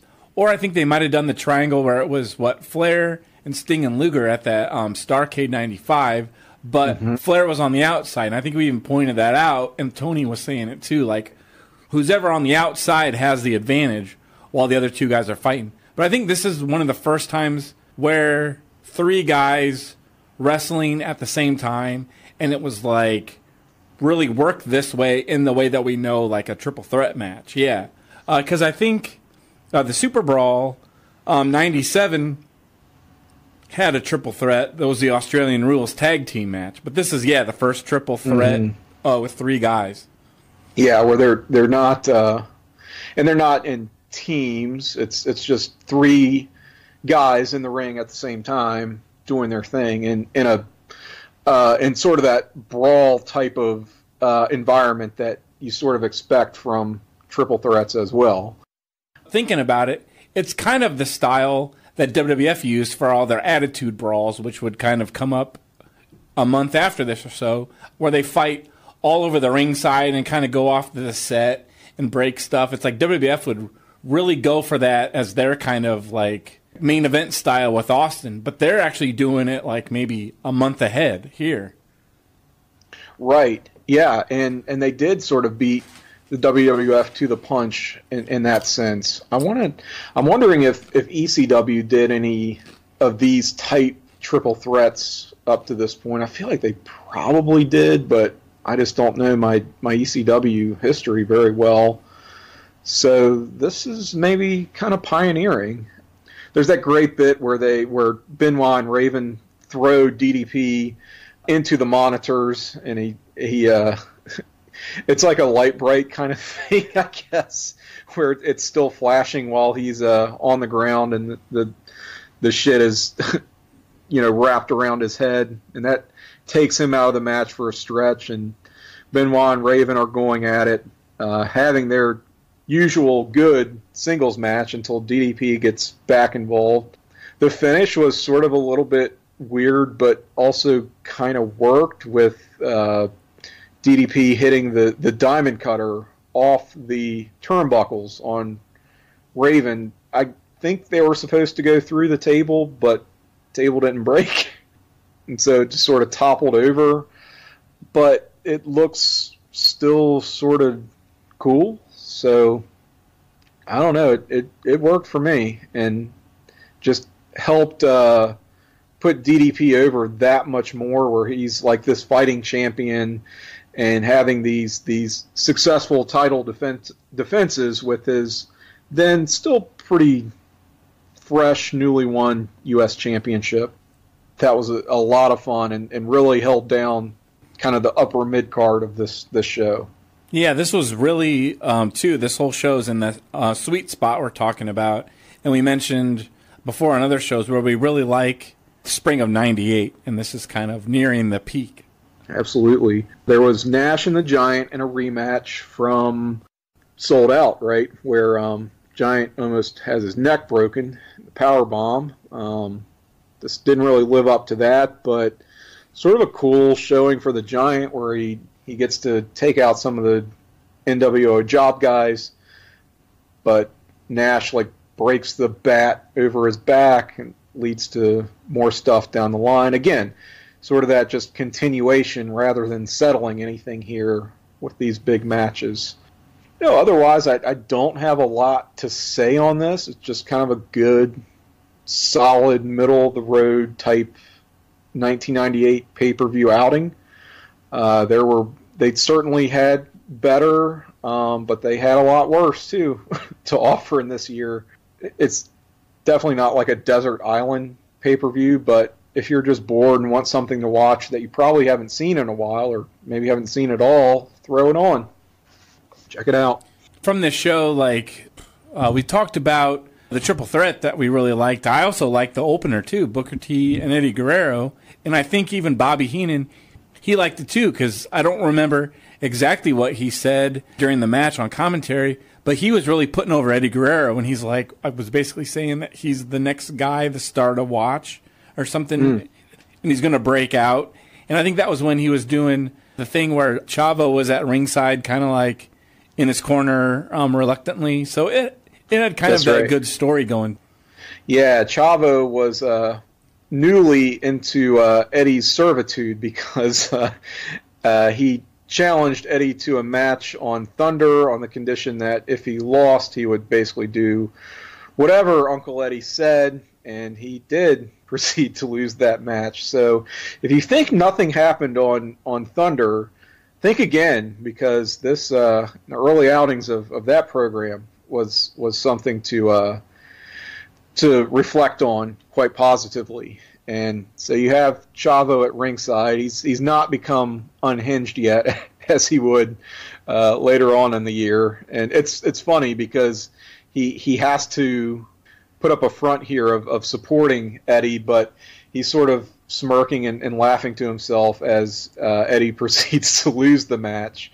Booker T, then television champion, successful title defense, and you know that just begins this this saga of of Eddie and Chavo that would play out um, pretty amusingly for the better part of, of 1998. So yeah, forgot about that. Even a guy that I like to dog on, a uh, K Dog, I think he kind of had an all right match too, wasn't it, against Juventud? That's right. He did have that that match with Juvi. Sort of, he was a little bit limited at this point, I think, in, in terms of what he could actually do in the ring, but you could tell he was trying more probably because he was working with a, one of his guys, a guys that, that he really liked and respected. So while it isn't um, doesn't set the world on fire, it's still um, more than than you would think of a, a, Konnan match being in the late '90s.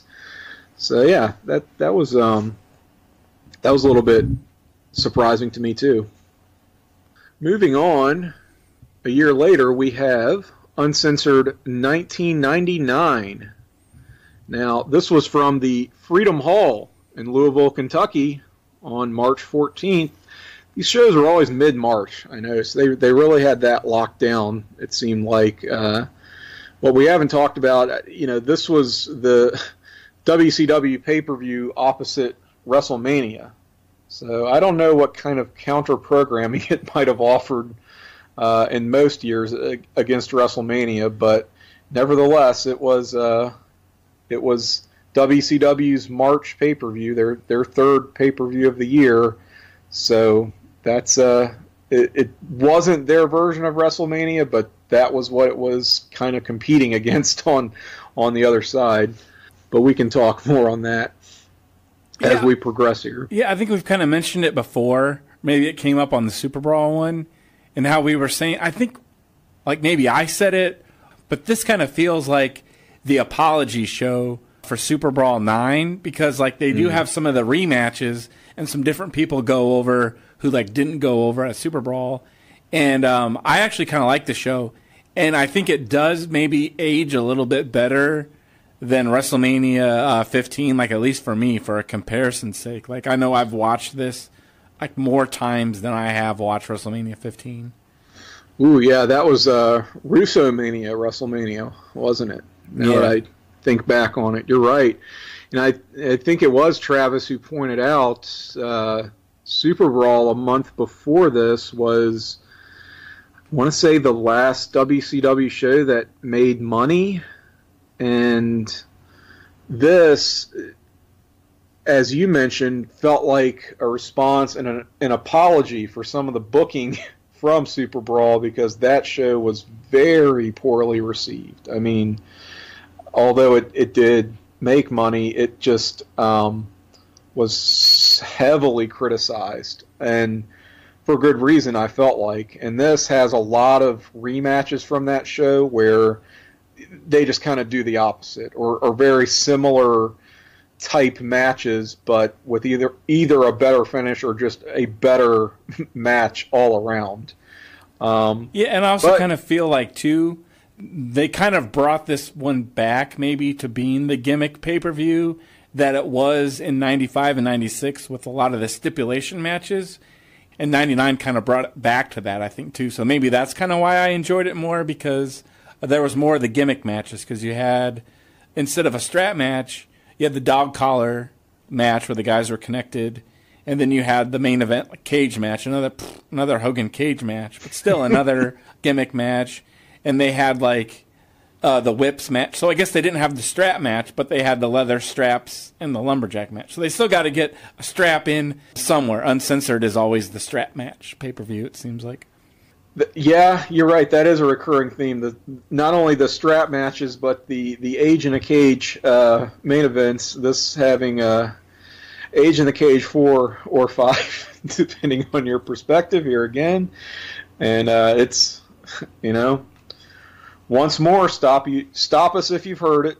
It's Hogan and Flair in the cage. Uh, it's a rematch from SuperBrawl. This a first blood cage match where um, both guys actually blade, and it um, it does not stop the match. Uh, but that sort of plays into the finish where they do this really. Although Flair does go over, which a lot of people wanted to see uh, at SuperBrawl a month before, um, they do this like stupid double turn thing where Hogan works the entire match as a face, and Flair wins through some shenanigans. Like he bled first, but referee Little Naitch Charles Robinson is, is sort of in his pocket. Just a lot of bullshit in this match. It's not even good.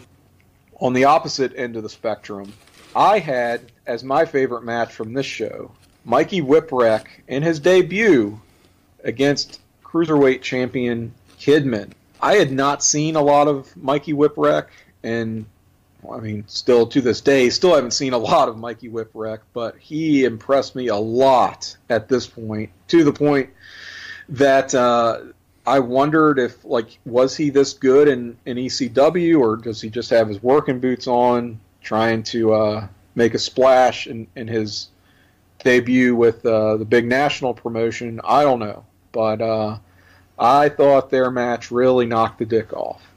Yeah, I'm actually familiar a little bit with ECW uh, Mikey Whipwreck because in 2000 ECW was probably my number two, and WCW was the uh, number three. Even though to Mhm. some people who are the hardcore ECW guys, that's like well past its prime because really it was. It was dying then, anyways, in 2000. But I was really into it, especially the back half of um, uh, 2000 because Mikey Whipwreck was teaming up with Tajiri, who uh, really sold me on ECW anyways, was seeing Tajiri. I'm like, holy shit, this guy's awesome. In the same way uh, that Mm. Ultimo Dragon hooked me with WCW a couple years before, I really liked Tajiri and Whipwreck. They teamed up, and they were with uh, the Sinister Minister, the guy that was with Abyss for a while, uh, the James yeah. Mitchell. Well, they had like a tag team kind of thing, uh, like Unholy Alliance, or I don't even remember what kind of name they gave it. Those guys were wrestling in the FBI, and it was uh, uh, the one guy that was with the Mamalukes, uh, the Tony Maritato guy. He was with it's Tony Marinero. or Tony Marinara or something. I forget his name, but uh, uh, he was with the Mamalukes. But then, like in uh, 2000, he was teaming with Little Guido as part of the FBI, and they had some really good. Like I haven't really went back and watched those in a while, but in the year 2000, in the year 2000, um, I'll edit that out. But uh, um, No, you don't have to. I just wanted to say it because I like that. I really loved, like, I guess those matches knocked the dick off me. But yeah, so I would say that Mikey Whipwreck probably was ECW's version of Kidman, or actually Kidman was WCW's version of Mikey Whipwreck. Because I think Mikey Whipwreck was around in like '95 and '96, and he had some upset wins over Austin when Austin was there with the long blonde hair in '95. I think mm-hmm. Mikey Whipwreck might have beat him then in an upset, and then Mikey Whipwreck actually, I think he beat Cactus Jack in his last match. And it was like a loser leaves town thing. Everybody knew Cactus Jack, I think, was leaving because they were all smart and into it. And he was doing the gimmick of going to WWF, I think, anyways. But he ended up leaving. And I think, yeah, so Mikey Whipwreck was kind of the upset guy, kind of like you can't powerbomb Kidman, and he'd always get the upset. So in a roundabout way, like I guess they were kind of like, here's these two guys that have the same gimmick, and now they're wrestling each other on the same uh, pay per view kind of thing. I never thought of it thought of it that way, but but I can definitely see that. looking back, um, makes a lot of sense. That's that's pretty cool.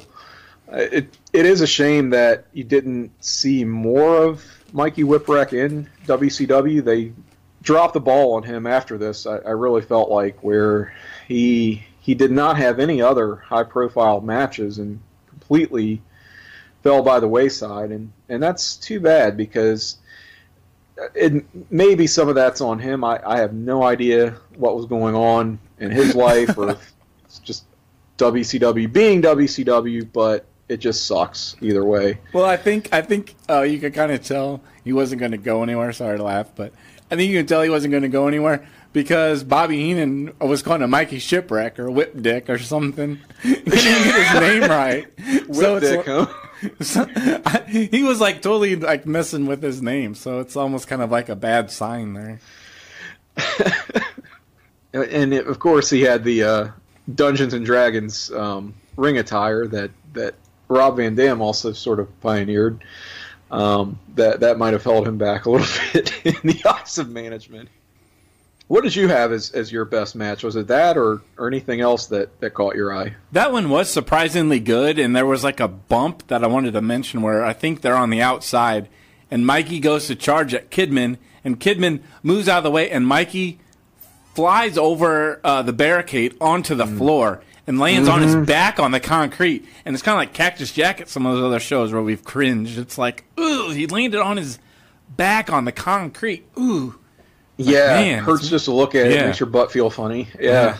Oh man, They- I I know exactly. It hurts you from your neck kiss to your butt kiss. your butt kiss. That's right. oh man. Um. Oh, but uh, no, like my favorite match is the tag team match for the tag team titles. I guess here's the return match, maybe the apology or something, because Yes, uh, they've the got the re- lumberjack apology match. they've got the uh, and they got to get the whips in there somehow. So it's like the lumberjack with whips, and it was for the tag team titles. But revisiting this now, like my favorite performers in the match uh, were the heels, Hennig and Wyndham, and they just completely like owned the match because Hennig. He like it seemed like he like at the start of the match it seemed like he forgot or he was doing his usual heel thing like he'd get hit, so he'd slide outside and like you know try to take a breather. Well, boom, here comes these guys with whips, and he's like, oh shit, and like flips back in the ring, and then like he does it again, like he gets decked and he jumps out, and he does it a couple times. Well, then throughout the progression of the match, then I think Wyndham and Hennig like start to take it to their advantage, and they would just like throw like Malenko out to the outside, so he'd get whipped on. So they were like really owning it, and like in a way that Flair like owned being the lady and went all the way with the uh, the Owned makeup. being the lady. Very committed, no doubt. Or I guess that's a better way to say it. They were really committed to the gimmick, kind of like Flair was committed to being in drag. They were really committed to that like silly stipulation, and they made it work and made it entertaining. And yeah, that match like it was good. No, you're right. That was a it was a wang dang doodle of a match. It was uh, pretty solid as as apology matches go. I don't disagree. And uh, it's a pre West Texas Rednecks uh, Hennig and Wyndham here, so they would go on to greater things and and greater notoriety uh, later on in the year. Um, little taste of that in their their team here. Um, what did you like the least in 1999? Well, the whole show was pretty uh, stacked. It was pretty good. Uh, What kind of didn't really pull its weight as much as the other sh- matches, the NWO B team explodes, I guess, with uh, Stevie Ray and Vincent, or implodes, I guess. it was just kind of all right. I, I am not inclined to disagree with you as, as that being the weakest match on this card. Um, it's it's not a winner. It's it's uh it- it's not something you need to go out of your way to see. Certainly, I don't know. I think that kind of is the extent of, of what I had on on 99. Was there anything uh, that you still got out there? Well, uh, we mentioned Saturn on the last show. We kind of had a Saturn love fest. We and did. And then uh, this one um, had Saturn and Jericho uh, with Ralphus on the outside. And it was kind of actually funny that Jericho didn't want to put the dog collar on, and he wanted Ralphus to do it. And Ralphus just kind of waves his finger at him and walks away. Like Ralphus, was he like mute or something? I'm I not don't sure know if he that- ever talked. That's a good question. Uh, we we never heard him speak, but I don't know if they ever said that he couldn't. It's a distinct possibility. This is Jericho's last WCW pay per view, so he goes out with the loss here in the dog collar match. But uh, Saturn is, of course, wearing the dress, which by this point he had come to prefer. So how about that? Oh, you know what? I actually looked up something. I was wondering what happened to Saturn, and I think what happened is like 04 or 05. It's actually pretty cool because we were kind of singing his praises in the um, in the ring, but it sounds like he was a good guy, kind of out of the ring. Some lady was getting mugged, and he went to like help her or something, but he got hurt, or I think he actually got shot and was trying Yeah. to prevent the mugging. Sounds like he was kind of like doing something heroic, and he ended up taking a bullet. Yeah, I, I've heard that story too. Um, he he definitely did get shot, uh, shot in the neck. I want to say, so that would have really meant the end of his in ring career. Uh, he may have had other injuries too by that point, but um, yeah, he he seems to not be in tremendous physical shape today, but is still doing all right. Uh, I I want to say maybe DDP reached out to him with the the DDP yoga stuff, where he's sort of rehabilitating these guys who are uh, falling by the wayside, or, or sort of these these lost souls in the in the wrestling industry. Um, Man, kudos to DDP. He's really like a jam up guy. Then Right, he he definitely is. We um, that's another stay tuned. I, I think we'll uh, we'll put it at that. But anyway, that's uncensored 1991. 99. 91. Wow. what if they did an uncensored in 91? What would that look like? it would probably have like bears and and uh, monkeys. Oh man, Big Josh, Big Josh wrest- wrestling bears. Yeah. And then I think they did in um, Halloween Havoc 91 had that cage with like a whole bunch of guys, Cactus Jack and the Diamond Stud, and then they had the electric chair in there. Oh, And yeah, so, sure. So it would probably would have been like it would have been like a shit show. No, but I think we would have been laughing at it. So Gosh, Would've been a gosh. Now, now I'm in love with my my fantasy um, booking of of a hypothetical uncensored 1991. so, in any case, unfortunately, what we're left with actually is uncensored 2000, which hailed from the American Airlines Arena in Miami. So on March 19th, the last uncensored. Oh, okay. So we've kind of talked about how this show is pretty much the same as SuperBrawl 10, SuperBrawl 2000. um, they're a little bit interchangeable in my mind. Uh, just I remember the matches between those two shows, but I have a hard time placing which match landed where. You know what I mean? Yeah, because I think it's kind of like, uh, to me, it feels like the opposite of SuperBrawl um, 9 and Uncensored 91 or 99. um, Because, see, like, I guess, like, I really liked SuperBrawl 2000, and then I didn't like Uncensored 2000 because it seemed like basically uh, the same show, but maybe it's because it was like I'd already seen it once before. Uh, because I think the main event still had Jarrett and Sid, and then you still had um, um you had Terry Funk on there. You kind of had the same kind of guys wrestling each other, I think, and just kind of like ran together. They kind of just played musical chairs with with this card, right? Where Yeah. It is the same batch of guys in, in different arrangements. Uh, this is the uh, infamous and somewhat celebrated apple pie Indian strap match. Guess the participants. It's Hogan and Flair once again. so uh, we talked about how 1999 was not an example of a good Hogan and Flair match. Kind of run circles around this one though. Hogan seems more immobile than he usually is by this point in uh, in 2000. He's not really doing anything. Flair's sort of not even trying uh, for Ric Flair, and it's not a fun match to watch. I, I didn't get a lot of even ironic enjoyment out of the the apple pie Indian strap match. How did you feel about it? Like the thing um, with Hogan here is he's back to being the red and yellow, and I think he kind of did the red and yellow like in the summer of '99. Mm-hmm. And then here he's doing it, and to me it seemed like it was really tired and old and out of place. Whereas like he did the whole red and yellow thing, and I got pops, and it was over like two years later in the WWF. But that's because he hadn't been there in the WWF in so long, and there was some Mhm. nostalgia um, attached to it. But him doing the red and yellow in 2000, it seemed out of place, and there was no nostalgia attached to it because he had just done it. Right. It didn't have the nostalgia attached to it, and it seemed yeah out of place because like um, on the other side of the card, um, you had Jarrett who was a fresh main eventer, and then he gets kind of bumped down for Hogan and Flair again. So I kind of actually felt bad for Jarrett because he's like trying, and people have their feelings about Jarrett, like like mixed feelings, and you know, or maybe not even mixed, just bad feelings. right.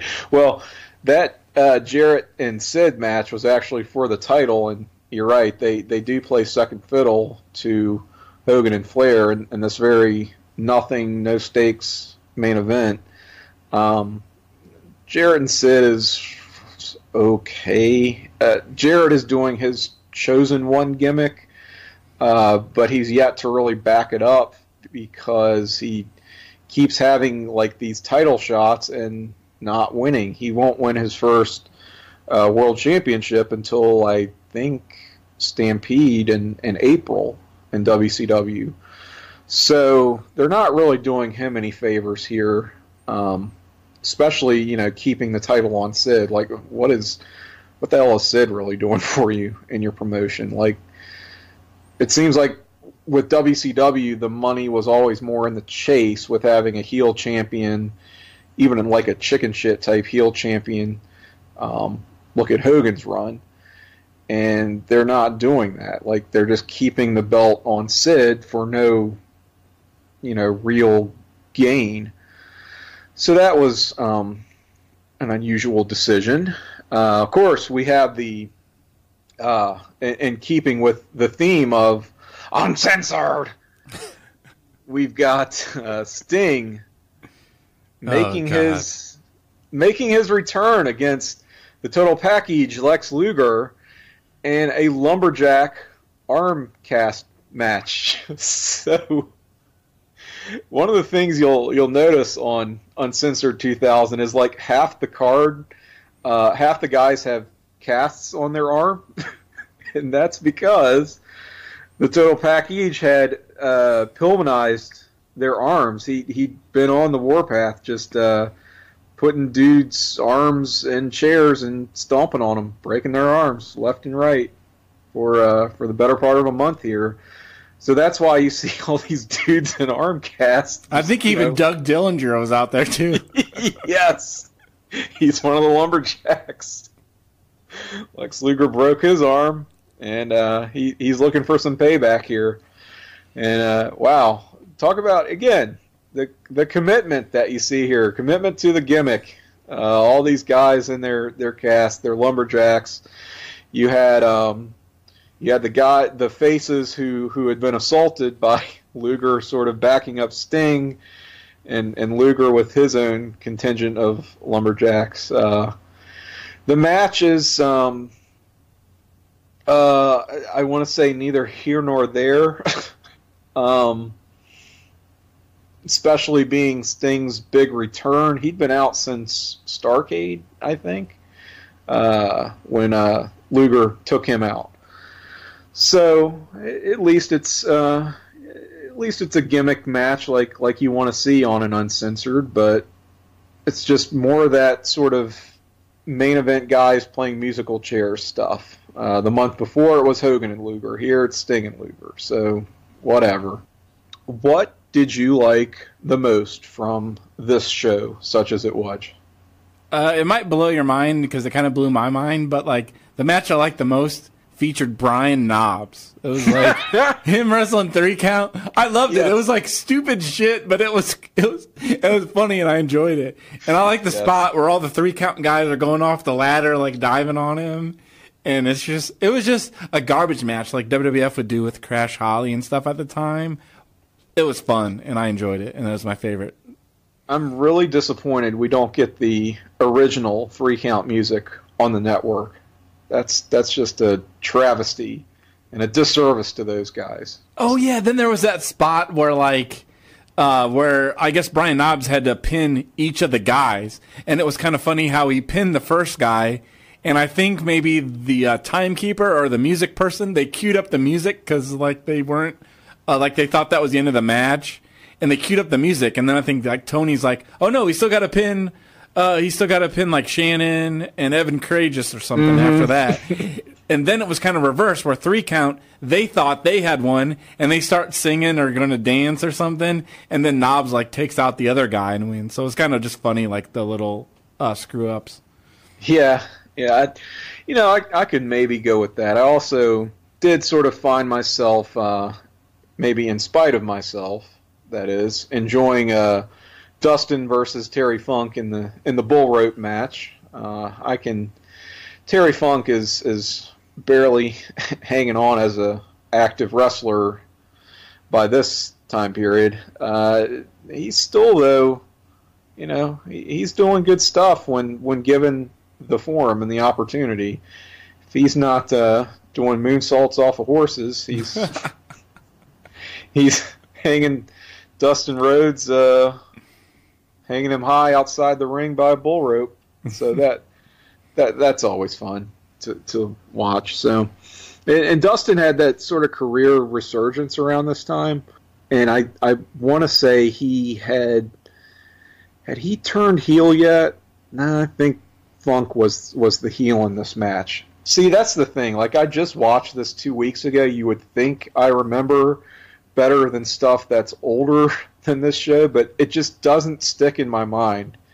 And and that's not because I wasn't watching WCW at the time. It's just it's so kind of paint by numbers. This this last uncensored, as much of the year 2000 is. Yeah, I think that's the problem with this. Uh, maybe in uh, 2000 that I've noticed is like they try to cram as many guys on the show um, as possible. Like so, it's uh, maybe Mhm. overcrowded with matches, and so you don't kind of remember them as well. And they're all like they all kind of run together because they're all quick, and they all kind of have a lot of uh, interference. But like the other uncensored, like I think the first one, 95, only had like seven matches, whereas this one Mhm. had like ten. So I guess maybe that's something to do with it too. Yeah, I noticed that. It it did get kind of crazy with just the amount of guys that are shoved onto this card. Maybe trying to make up for some of their deficiencies. The uh, the radicals had had bolted by this time. They're also hurting for some star power with, I believe, some main eventers uh, being on the shelf. You don't see Steiner here. Goldberg had the injury. Uh, Bret Hart had his career ended. Uh, so things like that were were hurting them, and we talked about that on our uh, on our SuperBrawl assessment too, and this continues on from there. But um, Yeah, because it's uh, basically kind of like a mid card um, showcase for these two shows. I guess they've they've Kidman on there, uh, Vampiro, um, Mhm, the Wall. mhm. The Wall gets put over. So yeah, I guess it is just like a mid card um, um, showcase, which is actually more of the better stuff because I liked uh, the Wall and Bam Bam was really short, but I liked how they sold him as a monster uh, really well.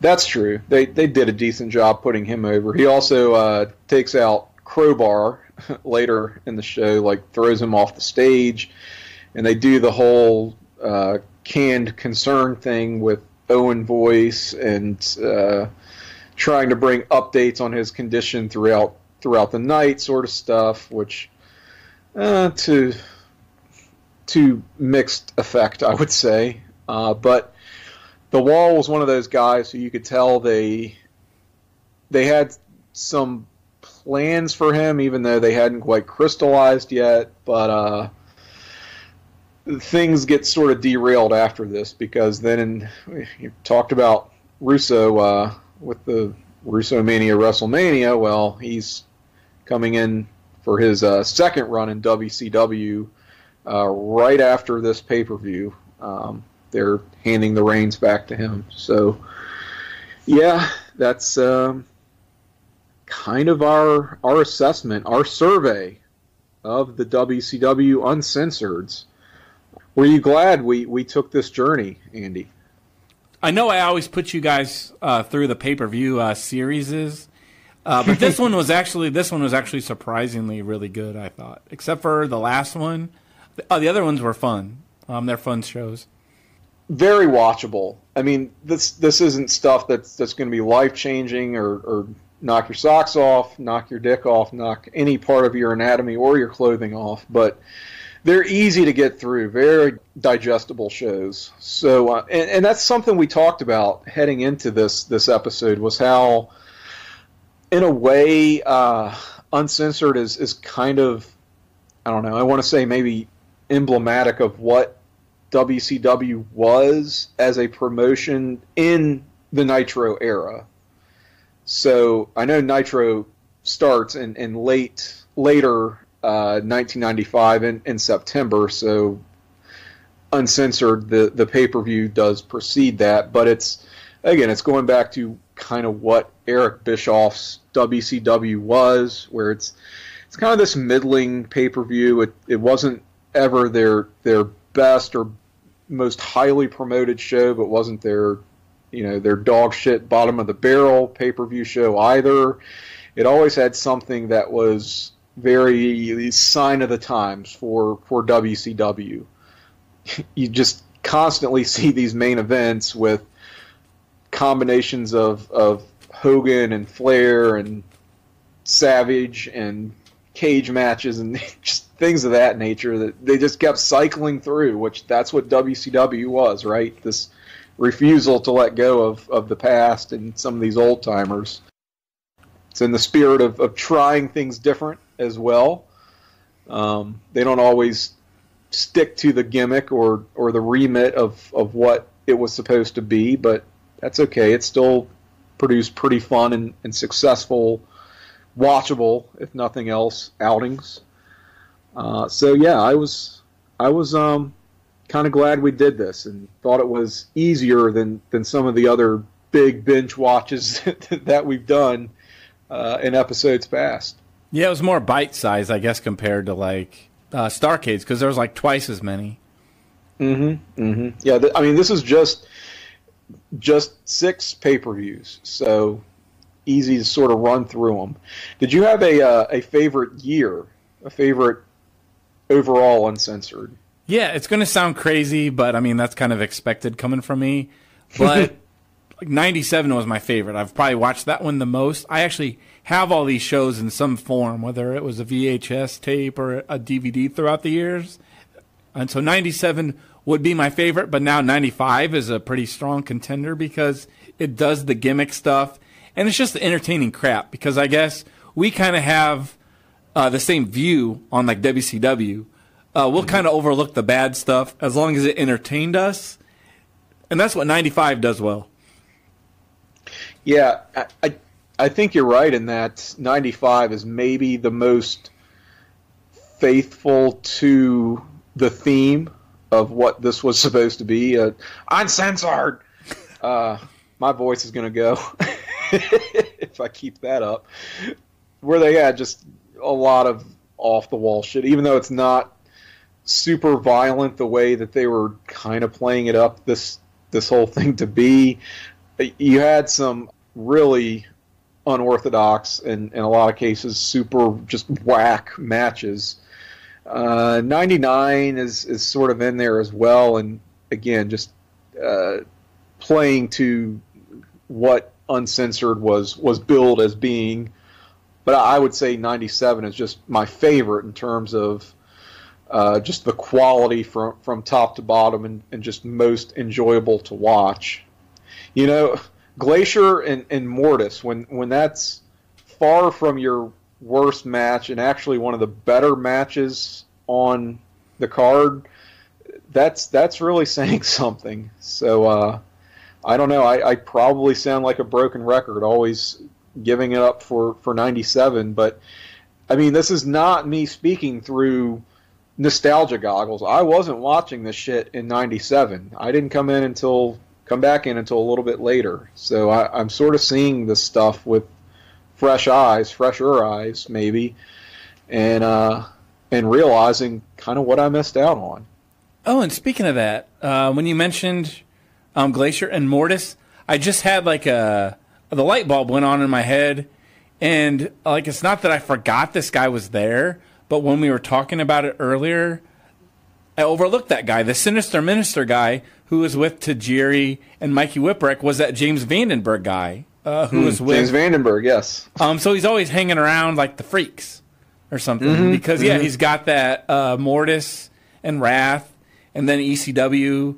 Uh, he's got kind of the. Uh, it was kind of like more of like a satanic thing or Right. something, and then he did it with Abyss later as James Mitchell, right? Yes. Yep. James Mitchell. He had the uh, the great uh, green tie here at uh, 97 Uncensored to to complement uh, the ring attire of, of Mortis. So, yeah, I, I, he's a guy that, that I certainly overlooked too. But um, it, that's just that whole thing with the karate fighters, Mortal Kombat, whatever they were going for type thing with with that mix of guys. You could tell it would have been the big craze or the big push of the promotion if if not for the NWO. Um, I, I think that would have gotten a lot more focus. Hard to see what the end game of something like that might have been. I mean, what are they going to be vying for titles? Just, I don't know. The the storyline, the angle didn't really lend itself to sort of traditional wrestling booking, but so be it. Uh, that's maybe our, our tangent for the episode. Maybe maybe we'll expand on that later. I don't know if we could uh, necessarily devote an entire episode to the uh, faux Mortal Kombat angle of the late '90s. Or that would be a whole uh, show in itself. Uh, those like C and D storylines of '97. Because what Mm. the fuck was going on with Jeff Jarrett, Mongo, and Debra? They were kind of going back and forth the same way, like the never-ending thing. And then you had the never-ending Kevin Sullivan and like Benoit feud because they were feuding at the start of the year because they were on a Clash of the Champions, like fighting. And then you had them at SuperBrawl in that mixed match with uh, Jacqueline and Woman in there. And then they're Mhm. still going into the summer. So that feud was like a year long, if you remember that, Mhm. because they Yeah. had the whole dusty thing of the lady in the men's bathroom, Great American Bash in 96. And then it comes around a whole year later and they finally blow it off at Bash at the Beach. So it's like you had all those weird like C and D stories that like were going C and D stories of WCW that uh, didn't get as much attention or, or aren't as well remembered due to the higher profile NWO main event type stuff. Maybe uh, maybe that's something to take a look at. But this being perhaps a C and D list pay per view series, I think we are ready to put it to bed. But we still have some business to take care of here on this outing. Hmm, how do we do this? I, I kind of want to hand it over to you, Andy, because we're going to be doing something a little bit different for our next show. Yeah, it was actually this was my idea, and talking about maybe you you uh, kind of slacking off at work and not really being as productive. I may have not have been as productive at work with work related stuff, but over the last week or so, I've been productive at work in a different way. Like I had a I was brainstorming like we've done like the format of the show seems to have been like too into doing pay per view series. Like we have to do all the SuperBrawls, all the Starcades, now all the Uncensoreds. Well, I thought of something that could make it more fun for us and also maybe more fun to listen to. WCW, they had a lethal lottery and they would kind of like draw out the matches or like a battle bowl thing, you know, um, the battle bowels. Yes, the, the only matches I have refused to watch, no matter how hard they, they are pushed. So I kind of um, had a thought along that line. Well, maybe we could leave the next couple shows up to chance and do our own version of a lethal lottery. And I kind of asked our past guests, a few of them, if they would be up for this too. And now that we've had kind of a good uh, pool of guests, kind of like a who's who of the of the place to be nation on here, now we're going to do our own lethal lottery where putting some topics into a hat, which is actually Big Bubba's hat that went out in the crowd. I went and found it. And so oh yeah, his, match with Sting at at uh, the inaugural Uncensored. Yeah, he lost his hat. So. So I put some topics into uh, this hat, and I'm going to kind of draw one of the topics out and then redraw uh, because with WCW they drew like partners. Well, we're going to partner up one of our guests um, with a future topic, and then uh, should I should I read off the topics or do you want me Yeah, to read them off? We have a few topics that uh, Tim and I have kind of discussed and kind of like I kind of came up with a couple and he kind of gave me some feedback. So in the drawing, we have Scott Hall. There's also Brett the Hitman Clark. There's uh, tag teams, the NWO. Uh, there's guest choice because I thought of uh, with the uh, spin the deal, they had like a uh, spinner's choice where they That's could right. choose. So there's that. There's also Hosses, all about the big men of WCW, uh, the Mm. Giant, Vader, the Boss Man because he's big, and then um, maybe the Yeti. So we could kind of run the whole um, the whole uh, field of Hosses throughout WCW's history. Without further ado, I'll just kind of uh, shuffle the hat. This is not gimmicked, by the way. In the spirit of WCW, it is not gimmicked. I would not do that because WCW didn't gimmick their wheel or their drawings. Keep ourselves honest. So if we get best coal miners glove matches, we're we're gonna just have to roll with it. Okay, I drew out one. I'm going to unfold it, and it's the NWO. Oh, cue the porno music. Here we go. Hmm, this is the big time. All right, so we've got our next topic. We're going to be talking the NWO, the faction, the faction. Uh, who are we going to be talking about the NWO with? Um, we've got four guys in the drawing who have um, uh, stepped up, and I've kind of convinced that who'd like to be a part of it. Okay, who are who are our who's in the pool here? Uh, the field is Greg. We've got Greg Phillips. Travis Banks from the SuperBrawl Part 1 and 2. Okay, very good. There's also Todd Weber. Oh, yes, the manager, Todd Weber. And also Andrew Reich from our a previous Very- episode, all about 1994 pay per views. Our very good friend Andrew. Yes, let's see here. Okay. The winner is Greg. Greg Phillips.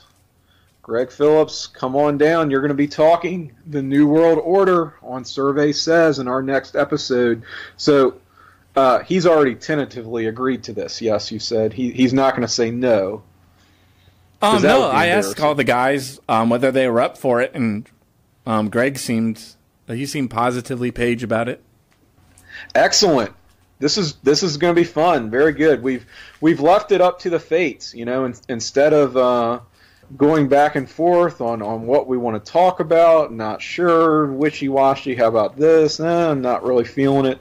We we've let the we, we've let Big Bubba's hat decide it for us. Oh, man. Outstanding. Well, I'm going to be looking forward to that. I think that kind of brings our proceedings to a close here. Is there anything else you'd, you'd like to uh, promote or, or put over, brother, before we get out? No, I'm good. Uh, stay tuned to the place to be pop feed where you can uh, listen to Tim Capel and his uh, new uh, ventures. Oh, that's true. Yes. Excellent. Have we got any uh, dinner and a movies? Any any movies for for guys who might possibly, conceivably, hypothetically like movies? Anything coming up here on the Superstation? Well, yeah, because it's coming up at 7.05. It looks like it's about 7.04, so we got a break for Dinner and a Movie with Peter Weller, Ernie Hudson, Meg Foster, and Leviathan. Leviathan. Oh, that's a good one. Stay tuned for that, folks. Uh, here on on the Superstation TBS, or or we might be on TNT. I'm not entirely sure, but for Andy Helene, Andy Savage Helene, I am Tim Capel. We gotta go. Oh, man,